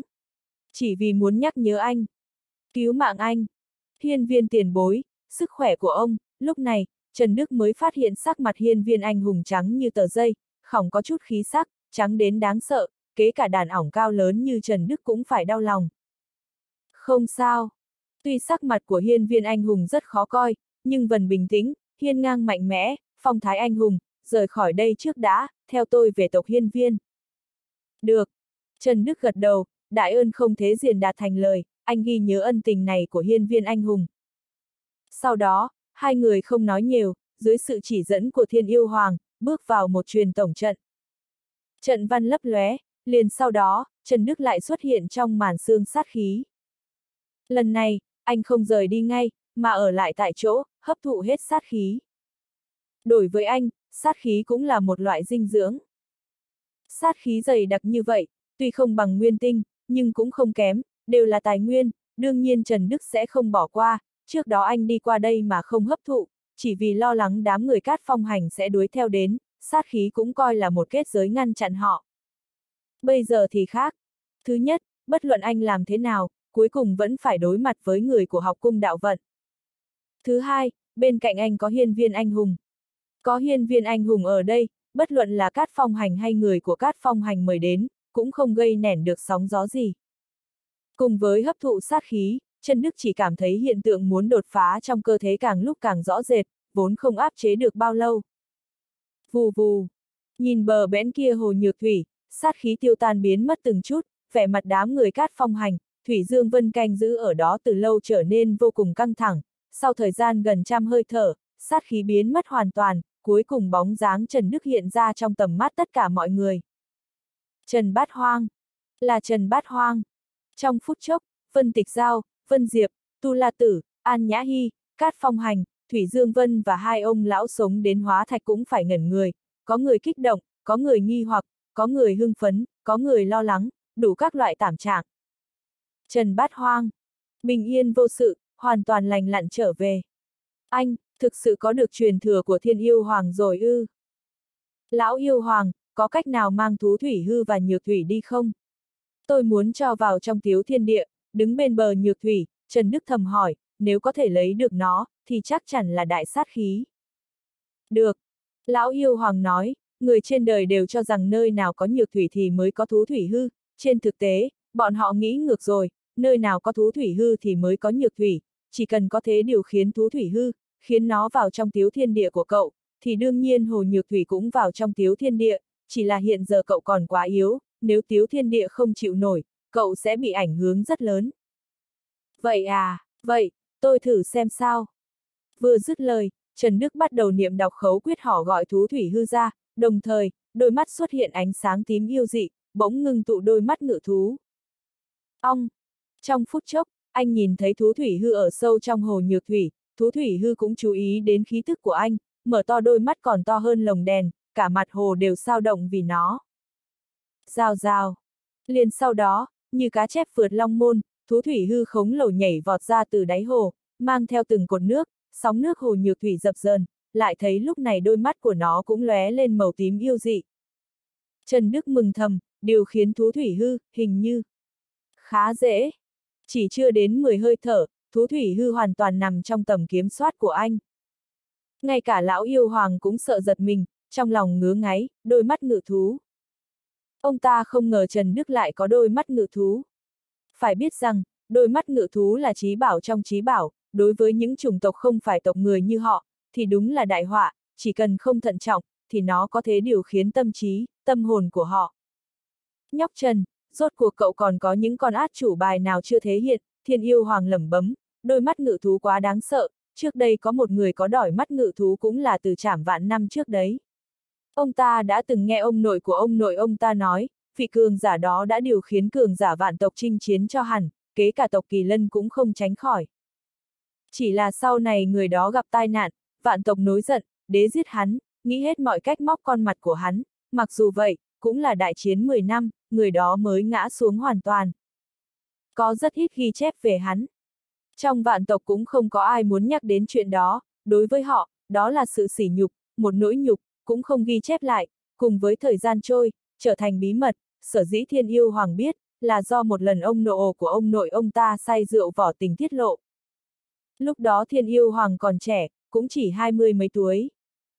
Sau khi nghe chuyên về đôi mặt ngự thú, cũng đặc biệt ghi nhớ, rồi tìm kiếm. Chưa từng nghĩ, sau mấy chục vạn năm, nó lại xuất hiện trên người Trần Đức. Trước đây, ông ta chỉ cho rằng Trần Đức có thể nhìn xuyên thấu, dù thế nào cũng không liên hệ đôi mắt của anh với đôi mắt ngự thú. Lúc này, được biết chân tướng, thiên yêu hoàng rất khó bình tĩnh. Chẳng lẽ nỗi nhục của vạn tộc lại sắp giáng xuống rồi ư? Khụ, thực sự không còn con át chủ bài gì nữa. Trần Đức cảm nhận được sự khác thường của thiên yêu hoàng, cũng hiếu sự uy hiếp của đôi mắt ngự thú với thú tộc, an ủi nói, ông yên tâm đi, tôi rất ít sử dụng đôi mặt ngự thú này, hơn nữa, đôi mặt ngự thú là bảo vật trưởng thành theo thực lực của bản thân, tôi vẫn chưa đạt đến trình độ điều khiển tùy ý, ít nhất, còn chưa điều khiến được người đạo cấp, quản cấp, chẳng phải sao. Cũng chỉ là thú thủy hư không có thần trí, nếu không làm sao tôi có thể điều khiến nó. Tôi tin cái đầu cậu, lão yêu hoàng lẩm bấm một câu, tuy Trần Đức nói đúng, nhưng ông ta vẫn khó che đậy nổi kinh hãi. Rào rào. Nhược thủy sôi sục, thú thủy hư nhảy vọt lên cao vạn trượng. Cuối cùng dừng trước người Trần Đức. Trần Đức không thu vào thiếu thiên địa ngay lập tức, mà cùng hiên viên anh hùng bước lên trước, cưỡi lên thú thủy hư, nhanh chóng bơi về bờ bên kia.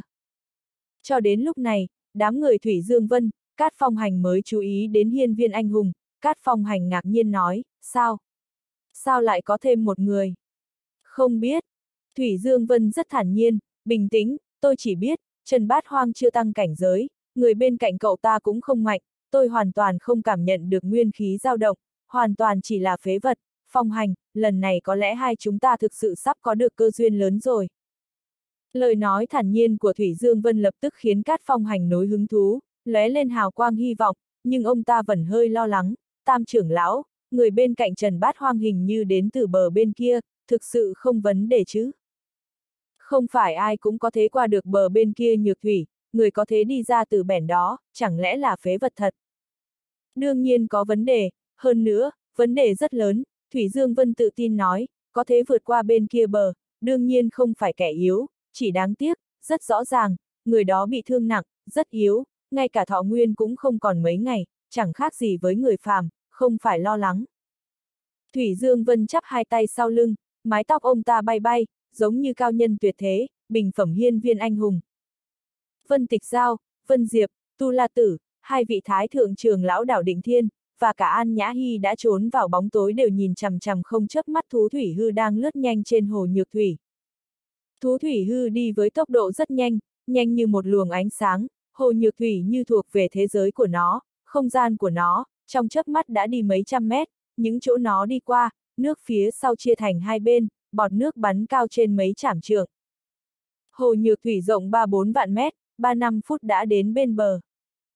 Trần Đức mời hiên viên anh hùng xuống bờ, mái tóc trắng tuyết của ông ta bay bay trong gió, ánh mắt kẽn nghị và đầy thăng trầm lướt nhìn xung quanh. Mười mấy vạn năm rồi, ông đã lâu khỏng ngắm nhìn cảnh tượng bên ngoài. Mười mấy vạn năm nay, ông ta chỉ thấy sa mạc. Không ngờ, đời này của ông ta còn có thể trở về thế giới đại thiên, kể cả là người tâm tính trầm ổn như hiên viên anh hùng, trong lòng vẫn dâng lên sự kích động mà người thường khó phát hiện. Hiên viên tiền bối, thế giới bên ngoài chắc hơi khác với trước đây phải không? Trần Đức mỉm cười với hiên viên anh hùng. Đúng thế. Hiên viên anh hùng gật đầu, thay đổi rất lớn, năm đó, hòn đảo này còn là một vùng đất hoang, bây giờ đã nhà cao chọc trời, thủ phủ san sát. Vừa nói, ánh mắt của ông ta hướng về mấy người đang đợi ở đây, cuối cùng lướt nhìn qua cát phong hành, Thủy Dương Vân, chậm rãi nói, hai ông già đó, đến đây có ý đồ. Cát phong hành và Thủy Dương Vân cách bọn họ không xa, cũng chỉ cách 7-80 mét. Đúng, bọn họ là người của học cung đạo vận, Trần Đức đã nói cho hiên viên anh hùng biết hoàn cảnh của mình, không khỏi cười khố nói, thật không ngờ, 10 tháng trôi qua, bọn họ vẫn còn đợi ở đây, thật kiên nhàn. Gần 10 tháng trôi qua, Trần Đức thực sự không nghĩ bọn họ sẽ còn ở đây, thực sự khiến anh rất kinh ngạc. Trần Đức cũng lướt nhìn sang Cát Phong Hành và Thủy Dương Vân theo ánh mắt của hiên viên anh hùng, tên trên người Cát Phong Hành phát ra sát ý cực kỳ dày đặc gần như sắp kết thành chất rắn, đôi mặt già nhìn chằm chằm Trần Đức, như rắn rết, ánh mắt âm lạnh. Thủy Dương Vân lại tỏ ra bình tĩnh hơn nhiều. Nhưng Thủy Dương Vân lại mạnh hơn Cát Phong Hành rất nhiều. Đặc biệt là Thủy Dương Vân có cảnh giới thiên đạo, cửu trọng thiên. Cao hơn Cát Phong Hành năm cảnh giới nhỏ. Chỉ dựa vào năm cảnh giới nhỏ này, Thủy Dương Vân đủ đế dùng một tay nghiền áp, giết chết Cát Phong Hành. Kế cả Trần Đức, lúc này chưa đột phá, thêm các loại con át chủ bài, và mượn sức mạnh của lão yêu hoàng, linh lung, dưới mức độ giới hạn cũng không phải là đối thủ của ông ta. Dù sao, cảnh giới của anh có hạn, sức mạnh có thế mượn cũng có hạn. Cũng hơi phiền phức, Trần Đức lấm bẩm. Ha ha, chỉ hơi phiền phức thôi sao? Tiểu tạp trùng, cậu cũng đánh giá mình cao quá đấy. Đúng lúc này, Cát Phong hành lạnh lùng lên tiếng, ông ta và Thủy Dương Vân bước từng bước về phía trước, nói đi, cậu đã có được gì ở bên trong đó? Cát Phong hành hỏi câu này, cũng là vấn đề mà tất cả mọi người có mặt ở đây đều quan tâm. Truyền thừa của Thiên Yêu Hoàng đã được phát hiện ra từ rất lâu, cũng phải lâu đến 14-15 vạn năm, trong những năm tháng dài đằng đẵng, rất nhiều người gãy lưng vì nó, mất mạng vì nó, mục đích của họ là muốn tiến vào, muốn có được cơ duyên, có được truyền thừa bên trong. Nhưng những người có thế tiến vào lại không có một ai quay trở ra. Kể cả từng có một số cường giả toàn năng tiến vào, cũng hoàn toàn biến mất. Đến nay truyền thừa bên trong vẫn là một câu đố. Ông là cái thá gì mà cũng xứng biết truyền thừa bên trong, Trần Đức cất giọng mỉa mai, đối phương thế hiện rõ ràng muốn giết anh, anh cũng không khách sáo, đối đầu gay gắt, tôi khuyên ông đến từ đâu thì cút về đó thì hơn. Cát phong hành nối lên sát ý, gần như sắp ngưng thành chất rắn, khuôn mặt không ngừng co giật, giật khóe mắt. Nhưng ông ta không ra tay. Thủy Dương Vân có ở đây, còn chưa đến lượt ông ta. Địa vị của ông ta thấp hơn Thủy Dương Vân rất nhiều. Cậu nhóc, cậu thật can đảm, chí đáng tiếc, thực lực vẫn kém một, lúc này, Thủy Dương Vân từ từ lên tiếng, ông ta cũng không vội, người trước mắt chẳng qua chí là cá nằm trên thớt, muốn giết, cũng chỉ là chuyện trong nửa hơi thớ, nghe nói cậu rất cuồng ngạo, mấy năm nay bản tôn chuyên chỉ kẻ cuồng ngạo, chuyên dằm đạp kẻ không phục. ầm, um, Thủy Dương Vân còn chưa nói hết, bỗng nhiên, không hề báo trước, đột nhiên nắm đấm màu vàng hội tụ, từ chẻn trời giáng xuống như một tòa núi đè xuống. Lập tức, sắc mặt Thủy Dương Vân thay đổi, không kịp nghĩ nhiều, ỏng ta lập tức thi triển kết giới phòng ngự. Phụt phụt. Nhưng liền sau đó, kết giới phòng ngự của ổng ta bị phá vỡ, cả người như miếng đậu phụ, bị nắm đấm nghiền đến nát bét, hóa thành vũng máu. Thần hồn diệt vong. Thủy Dương Vân, chết. Khổng có chút bất ngờ. Cả quá trình, đột ngột đến mức không thế đột ngột hơn, trước đó không hề có chút dấu hiệu báo trước, thậm chí ngay cả Cát Phong Hành đứng bên cạnh ông ta cũng hoàn toàn chưa định thần lại, thời gian sự việc xảy ra chỉ chưa đến một phần ngàn giây. Đợi khi Cát Phong Hành hoàn hồn lại, Thủy Dương vẫn đã chết không thế chết thêm. Ngay cả vũng máu cũng sắp bốc. Hơi! Chuyện gì vậy? Đã xảy ra chuyện gì? Trong đầu Cát Phong Hành chỉ có một loạt dấu hỏi, đồng thời, ngồi phệt ngồi xuống đất, cả người mềm nhũn, khỏng còn sức lực. Ông ta nhìn chằm chằm Trần Đức, rồi lại nhìn hiên viên anh hùng bên cạnh Trần Đức. Đến bây giờ ông ta vẫn không biết vừa nãy là ai ra tay.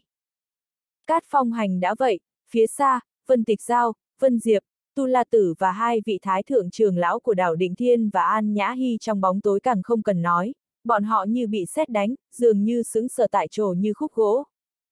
Cả không gian cũng hoàn toàn tĩnh lặng, giống như ngừng tại đó, không có chút âm thanh. Học cung đạo vận phải không? Về nói với viện trưởng của các ông, nói Thủy Dương Vân đã chết trong tay hiên viên anh hùng, chọn báo thù hay coi như không biết, học cung đạo vận tự lựa chọn. Lúc này hiên viên anh hùng lướt nhìn cát phong hành, cất giọng rất thản nhiên. Nói xong, nhìn vân tịch giao dương dương nước mắt ướp phía xa, hiên viên anh hùng lại nhìn sang Trần Đức, ôn hòa nói, bát hoang, hình như cậu có việc cần giải quyết, cho cậu một ngày, một ngày sau, đến Nam Hạ Châu, tôi đợi cậu ở tộc hiên viên, nhớ kỹ, trước khi gặp được tôi, không được đột phá. Vừa dứt lời, hiên viên anh hùng vụt người đi, trong tích tắc, vụt lẻn bầu trời, hóa thành luồng sáng, biến mất khỏi đảo Định Thiên. Cấm chế, trận pháp trên đảo Định Thiên dường như chẳng có tác dụng trước mặt ông ta. Hiên viên anh hùng đi xa, tốc độ cực nhanh, dường như trong tích tắc, Trần Đức đã không cảm nhận được khí thức của ông ta, phải biết rằng, với thần hồn hiện tại của Trần Đức, không gặp tình huống ở khu vực đặc biệt, cảm nhận trong vòng bán kính 3 năm vạn mét không thành vấn đề. Cũng có nghĩa là, hiện giờ hiên viên anh hùng đã cách anh ít nhất 3 vạn mét. Cho đến khi ông ta đi xa, Vân Diệp, Vân Tịch Giao, Tu La Tử và hai vị thái thượng trưởng lão đảo Định Thiên và An Nhã Hy ẩn mình trong hư không đều đang chấn hãi không thôi. Thủy Dương Vân chết rồi. Bọn họ khó mà chấp nhận hiện thực này, phải biết rằng, trước đây, Thủy Dương Vân đàn áp đến cả đảo Định Thiên thở cũng khóng dám thở mạnh. Thiên đạo cửu trọng thiên. Kế cả nhìn khắp cả thế giới đại thiên, ông ta cũng khá là mạnh, ở Tây Thần Châu này, chỉ cần thế lực, gia tộc cổ xưa, và một số thế lực hàng đầu có căn cơ cường mạnh không xuất hiện cường giả, thì đã là đỉnh cấp. Nhưng ông ta lại chết như vậy. Hơn nữa, hoàn toàn không có sức kháng cự, hoàn toàn bị nghiền nát. Người ra tay vốn không cần động. đây cũng có nghĩa là, trí dựa vào ý niệm, đã giết chết ông ta. Cát phong hành mềm nhũn dưới đất, khuôn mặt già nua trắng như tờ giấy, như xác chết biết đi, như người sắp chết, kinh hãi, sợ sệt, chưa hoàn hồn lại. Hiên viên anh hùng, hiên viên anh hùng. Bốn chữ vang vọng trong đầu như sấm sét, ông ta như kẻ ngốc, miệng không ngừng lẩm bẩm. Là trưởng lão của học cung đạo vận, làm sao khỏng biết hiên viên anh hùng. Đó là cái tên được ghi chép trong sử sách Đại Thiên, cả thế giới Đại Thiên đều lưu truyền truyền thuyết và sự tích của ông ta, khi ông ta thành danh, Cát Phong Hành vẫn còn chưa ra đời. Hiên viên anh hùng, quay lại rồi. Không bất ngờ, chuyện này nhanh chóng được truyền khắp thế giới Đại Thiên, về mặt ý nghĩa nào đó, sự trở lại của ông ta có ảnh hưởng quan trọng với thế giới Đại Thiên. Thậm chí rất có khả năng sẽ thay đổi cục diện của thế giới Đại Thiên. Kể cả bốn thần quốc, e rằng cũng ngồi không yên. Buộc phải thỏng báo tin này cho học cung đạo vận ngay lập tức, đợi người ra quyết định của học cung đạo vận sắp xếp. Còn Trần Đức, có hiên viên anh hùng bảo vệ, đã không phải là người mà Cát Phong Hành ông ta có thế động vào. Soạt! Cát Phong Hành không kịp nghĩ nhiều, lập tức rời đi, bóng dáng vô cùng nhếch nhác. Hiên viên anh hùng, hiên viên anh hùng biến mất 13 vạn năm trước, cho đến khi Cát Phong Hành đi xa, đám người Vân Diệp mời hoàn hồn lại. Lập tức, mọi người so sánh thông tin trong không gian đại thiên, so sánh diện mạo của hiên viên anh hùng 13 vạn năm trước với ông ta, chấn hãi phát hiện, đúng là ông ta. Bát hoang. Vạn tịch giao mặc kệ hiên viện anh hùng gì, trong mắt của cô ta chỉ có Trần Đức, Trần Đức có thế sống quay về, đã là nguyện vọng lớn nhất của cô ta, lúc cát phong hành rời đi, cô ta liền bước đến hư khổng, đến trước Trần Đức, anh. Anh khỏe không? Cô thấy thế nào? Trần Đức mỉm cười, tôi còn phải quay về ăn thịt cô, có thế không khỏe sao? Hừ, đồ khốn kiếp, đôi má vân tịch giao lập tức đỏ hồng, xinh đẹp, chim sa cá lặn, tất cả đàn ỏng, e rằng cũng sẽ chìm đắm trong vẻ đẹp của cô ta, kế cả Trần Đức có vô số cỏ gái đẹp, thì vẫn động lòng. Hiên viên tiền bối đặc biệt cho chúng ta thời gian, nếu cô không muốn, thì bây giờ tôi đi ngay, nói xong, Trần Đức quay người định rời đi. Đừng! Vân Tịch Giao cúi đầu thật thấp, người ta cũng không nói không đồng ý. Thánh nữ kiêu ngạo như chị ẻn ngày xưa, giờ đẩy gặp lại Trần Đức, bày dáng vẻ thiếu nữ, phía xa, thánh tử Hạ Lương Xuyên nghe tin chạy đến vừa hay nhìn thấy cảnh này, ngẩn người tại chỗ, mặt xám xịt, vô cùng khó coi. Đáng tiếc, hắn ta đã chứng kiến sự đáng sợ của Trần Đức, đâu dám nói gì. Nhịn, hắn ta chỉ có thể nhẫn nhịn. Lương Xuyên, từ nay về sau, cậu đừng nghĩ đến tịch giao nữa, Trần Bát Hoang, cậu không chọc vào được, tốt nhất, đúng lúc này, trong thần hồn của hắn ta truyền đến giọng của Vân Diệp, giọng khá trầm trọng, tốt nhất có thể chủ động từ bỏ thân phận thánh tử, tôi và bố của cậu cũng là bạn cũ, thực sự không muốn nhìn thấy cậu xảy ra chuyện, hy vọng cậu có thể nghe lời của tôi. Thánh chủ, tôi sẽ không nghĩ đến tịch giao nữa, nhưng vị trí thánh tử. Tỏi không muốn từ bỏ. Hạ Lương Xuyên cúi đầu, hắn ta có thể làm thế nào? Cho dù Vản Diệp không nhắc nhở, hắn ta vẫn không dám có hành động gì. Vân Tịch Giao thì có thể từ bỏ, nhưng vị trí thánh tử là niềm kiêu ngạo của hắn ta, hắn ta coi đó là thản phận vinh quang cả đời. Dù thế nào hắn ta cũng không thể từ bỏ thân phận này, làm sao cam tâm từ bỏ được. Chỉ vì Vân Tịch Giao thích Trần Bát Hoang ư. Lương Xuyên, đế cậu tự từ bỏ, đã là cho cậu thế diện rồi, chí dựa vào trước đây cậu đã đắc tội với Trần Bát Hoang, cậu cho rằng vị trí của cậu còn có thể giữ được sao? Mặc dù tôi đồng ý, hai vị thái thượng trưởng lão, sẽ nghĩ thế nào, Vân Diệp truyền âm bằng thần hồn, cảnh cáo nói, nếu cậu không muốn thế diện, thì đế đảo định thiên giúp cậu có thế diện, đến lúc đó, sẽ được không bằng mất, cụ thế thế nào, cậu tự cân nhắc. Tôi, sắc mặt hạ lương xuyên cực kỹ khó coi, nhưng cuối cùng, hắn ta vẫn đồng ý. Vân Diệp đã nói rất rõ ràng, bây giờ từ bỏ vị trí thánh tử hay không, không phải hắn ta nói là được. Hạ Lương Xuyên cực kỳ khổ sở, chỉ hận không thể tự tát mình hai cái. Nếu, nếu trước đây đối xử tốt với Trần Bát Hoang, lấy lòng Trần Đức như lấy lòng cát phong hành, sở hiên, có lẽ bây giờ. Nói không chừng đảo định thiên sẽ coi trọng hẳn ta, ít nhất, vị trí thánh tử sẽ giữ được chăng? Nghĩ đến đây, khí huyết trong lòng Hạ Lương Xuyên sôi sục, khóe miệng nhỏ ra máu tươi.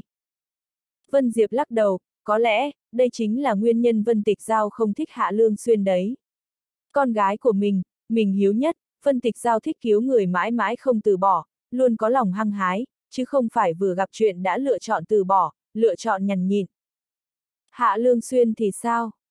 Chỉ đôi ba lời đã từ bỏ hoàn toàn. Loại người này, tương lai chắc chắc sẽ không đi xa được.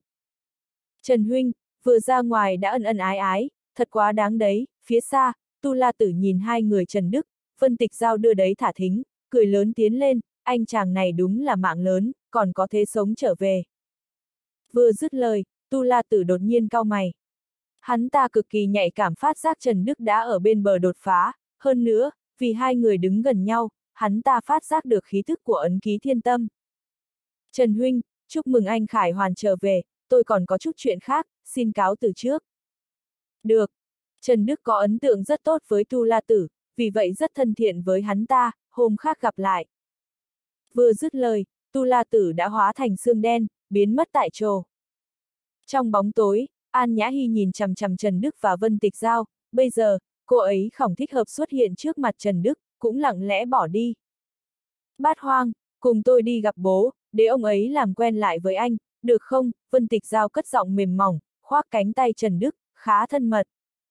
Được, nhưng, phải đợi chút đã, tôi còn có chuyện cần làm, Trần Đức quay đầu, nhìn sang thú thủy hư, cậu nhóc, lại đây. Lại mở đôi mét ngự thú ra, liền sau đó, lại thấy thú thủy hư nhảy vọt lên, phía trước Trần Đức, một đường khe nứt không gian mở ra, thú thủy hư trực tiếp chui vào. Đồng thời, hồ nhược thủy như hơi nước, trong thời gian 10 hơi thở, lập tức bốc hơi, hồ nhược thủy minh mông trí còn lại vùng đất khỏ cạn. Cùng lúc đó, trong tiếu thiên địa đơn điệu của Trần Đức, hồ nhược thủy cũng lặng lẽ xuất hiện, còn thú thủy hư yên tĩnh ẩn náu dưới đáy hồ nhược thủy. Lại là một con át chủ bài. Sự cường mạnh của thú thủy hư, sự đáng sợ của hồ nhược thủy đều không cần phải nghi ngờ, đã có nó, tương lai đối phó với Trần Nguyên Vũ, Trần Đức cũng thêm một phần nắm xác. Khi mọi việc xong xuôi, Trần Đức và Vân Tịch Giao cùng đến trước Vân Diệp và hai vị thái thượng trưởng lão đảo Định Thiên, ánh mắt dồn lên Vân Diệp, thản nhẻn nói. Vân Thánh Chủ, bắt đầu từ hôm nay, con gái ông chính là người phụ nữ của Trần Bát Hoang tôi, ông, không có ý kiến chứ. Trần Đức cũng khỏng khách sáo với Vân Diệp, dù sao trước đó ông ta cũng có thái độ không tốt lắm với anh, gọi ông ta một tiếng Vân Thánh Chủ, đã là khá nế mặt rồi, nếu không phải vì Vân Tịch Giao, Trần Đức hoàn toàn không nghĩ sẽ phải nói chuyện với ông ta. Cậu Trần, con gái tôi có thể trở thành người phụ nữ của cậu, là cái phúc của nó, cũng là cái phúc của đảo Định Thiên, Vân Diệp đâu có ý kiến gì. Đừng nói có hiên viên anh hùng đứng ra cho Trần Đức, cho dù là bản thân Trần Đức cũng đủ đảo quét đảo Định Thiên đấy. Ông ta sẽ không vì mình là bố của Vân Tịch Giao, thì cảm thấy mình là bố của Trần Bát Hoang, thế giới này, thực lực quyết định tất cả, Trần Bát Hoang nhận ổng ta làm bố, ông ta mới là bố, không nhận ông ta, ông ta chỉ là con cháu. Vân Diệp cười khố, trách thì trách trước đó ông ta thực sự có thái độ không tốt với anh, thậm chí một lòng muốn đuổi anh ra khỏi đảo Định Thiên, bây giờ Trần Bát Hoang lạnh nhạt với ông ta, cũng coi như báo ứng. Vân Diệp, con gái của ông là người của cậu Trần, thì là người một nhà với đảo đỉnh Thiên rồi, là thái thượng trưởng lão, cũng nên tặng quà gặp mặt, từ nay về sau, hai người sống ở lĩnh thiên các, Mục Vân Lôi, một trong thái thượng trưởng lão đảo đỉnh Thiên, vuốt bộ dâu dài, chậm rãi nói, tịch giao, sau này cô chính là chủ nhân của linh tiên các.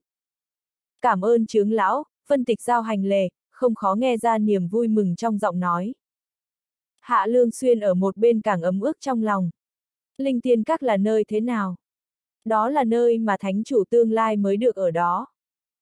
Kế cả một thánh tử như hắn ta trước đây, và Vân Tịch Giao cũng khỏng có tư cách sống ở đó. Audio điện tử võ tấn bền. Hết tập 43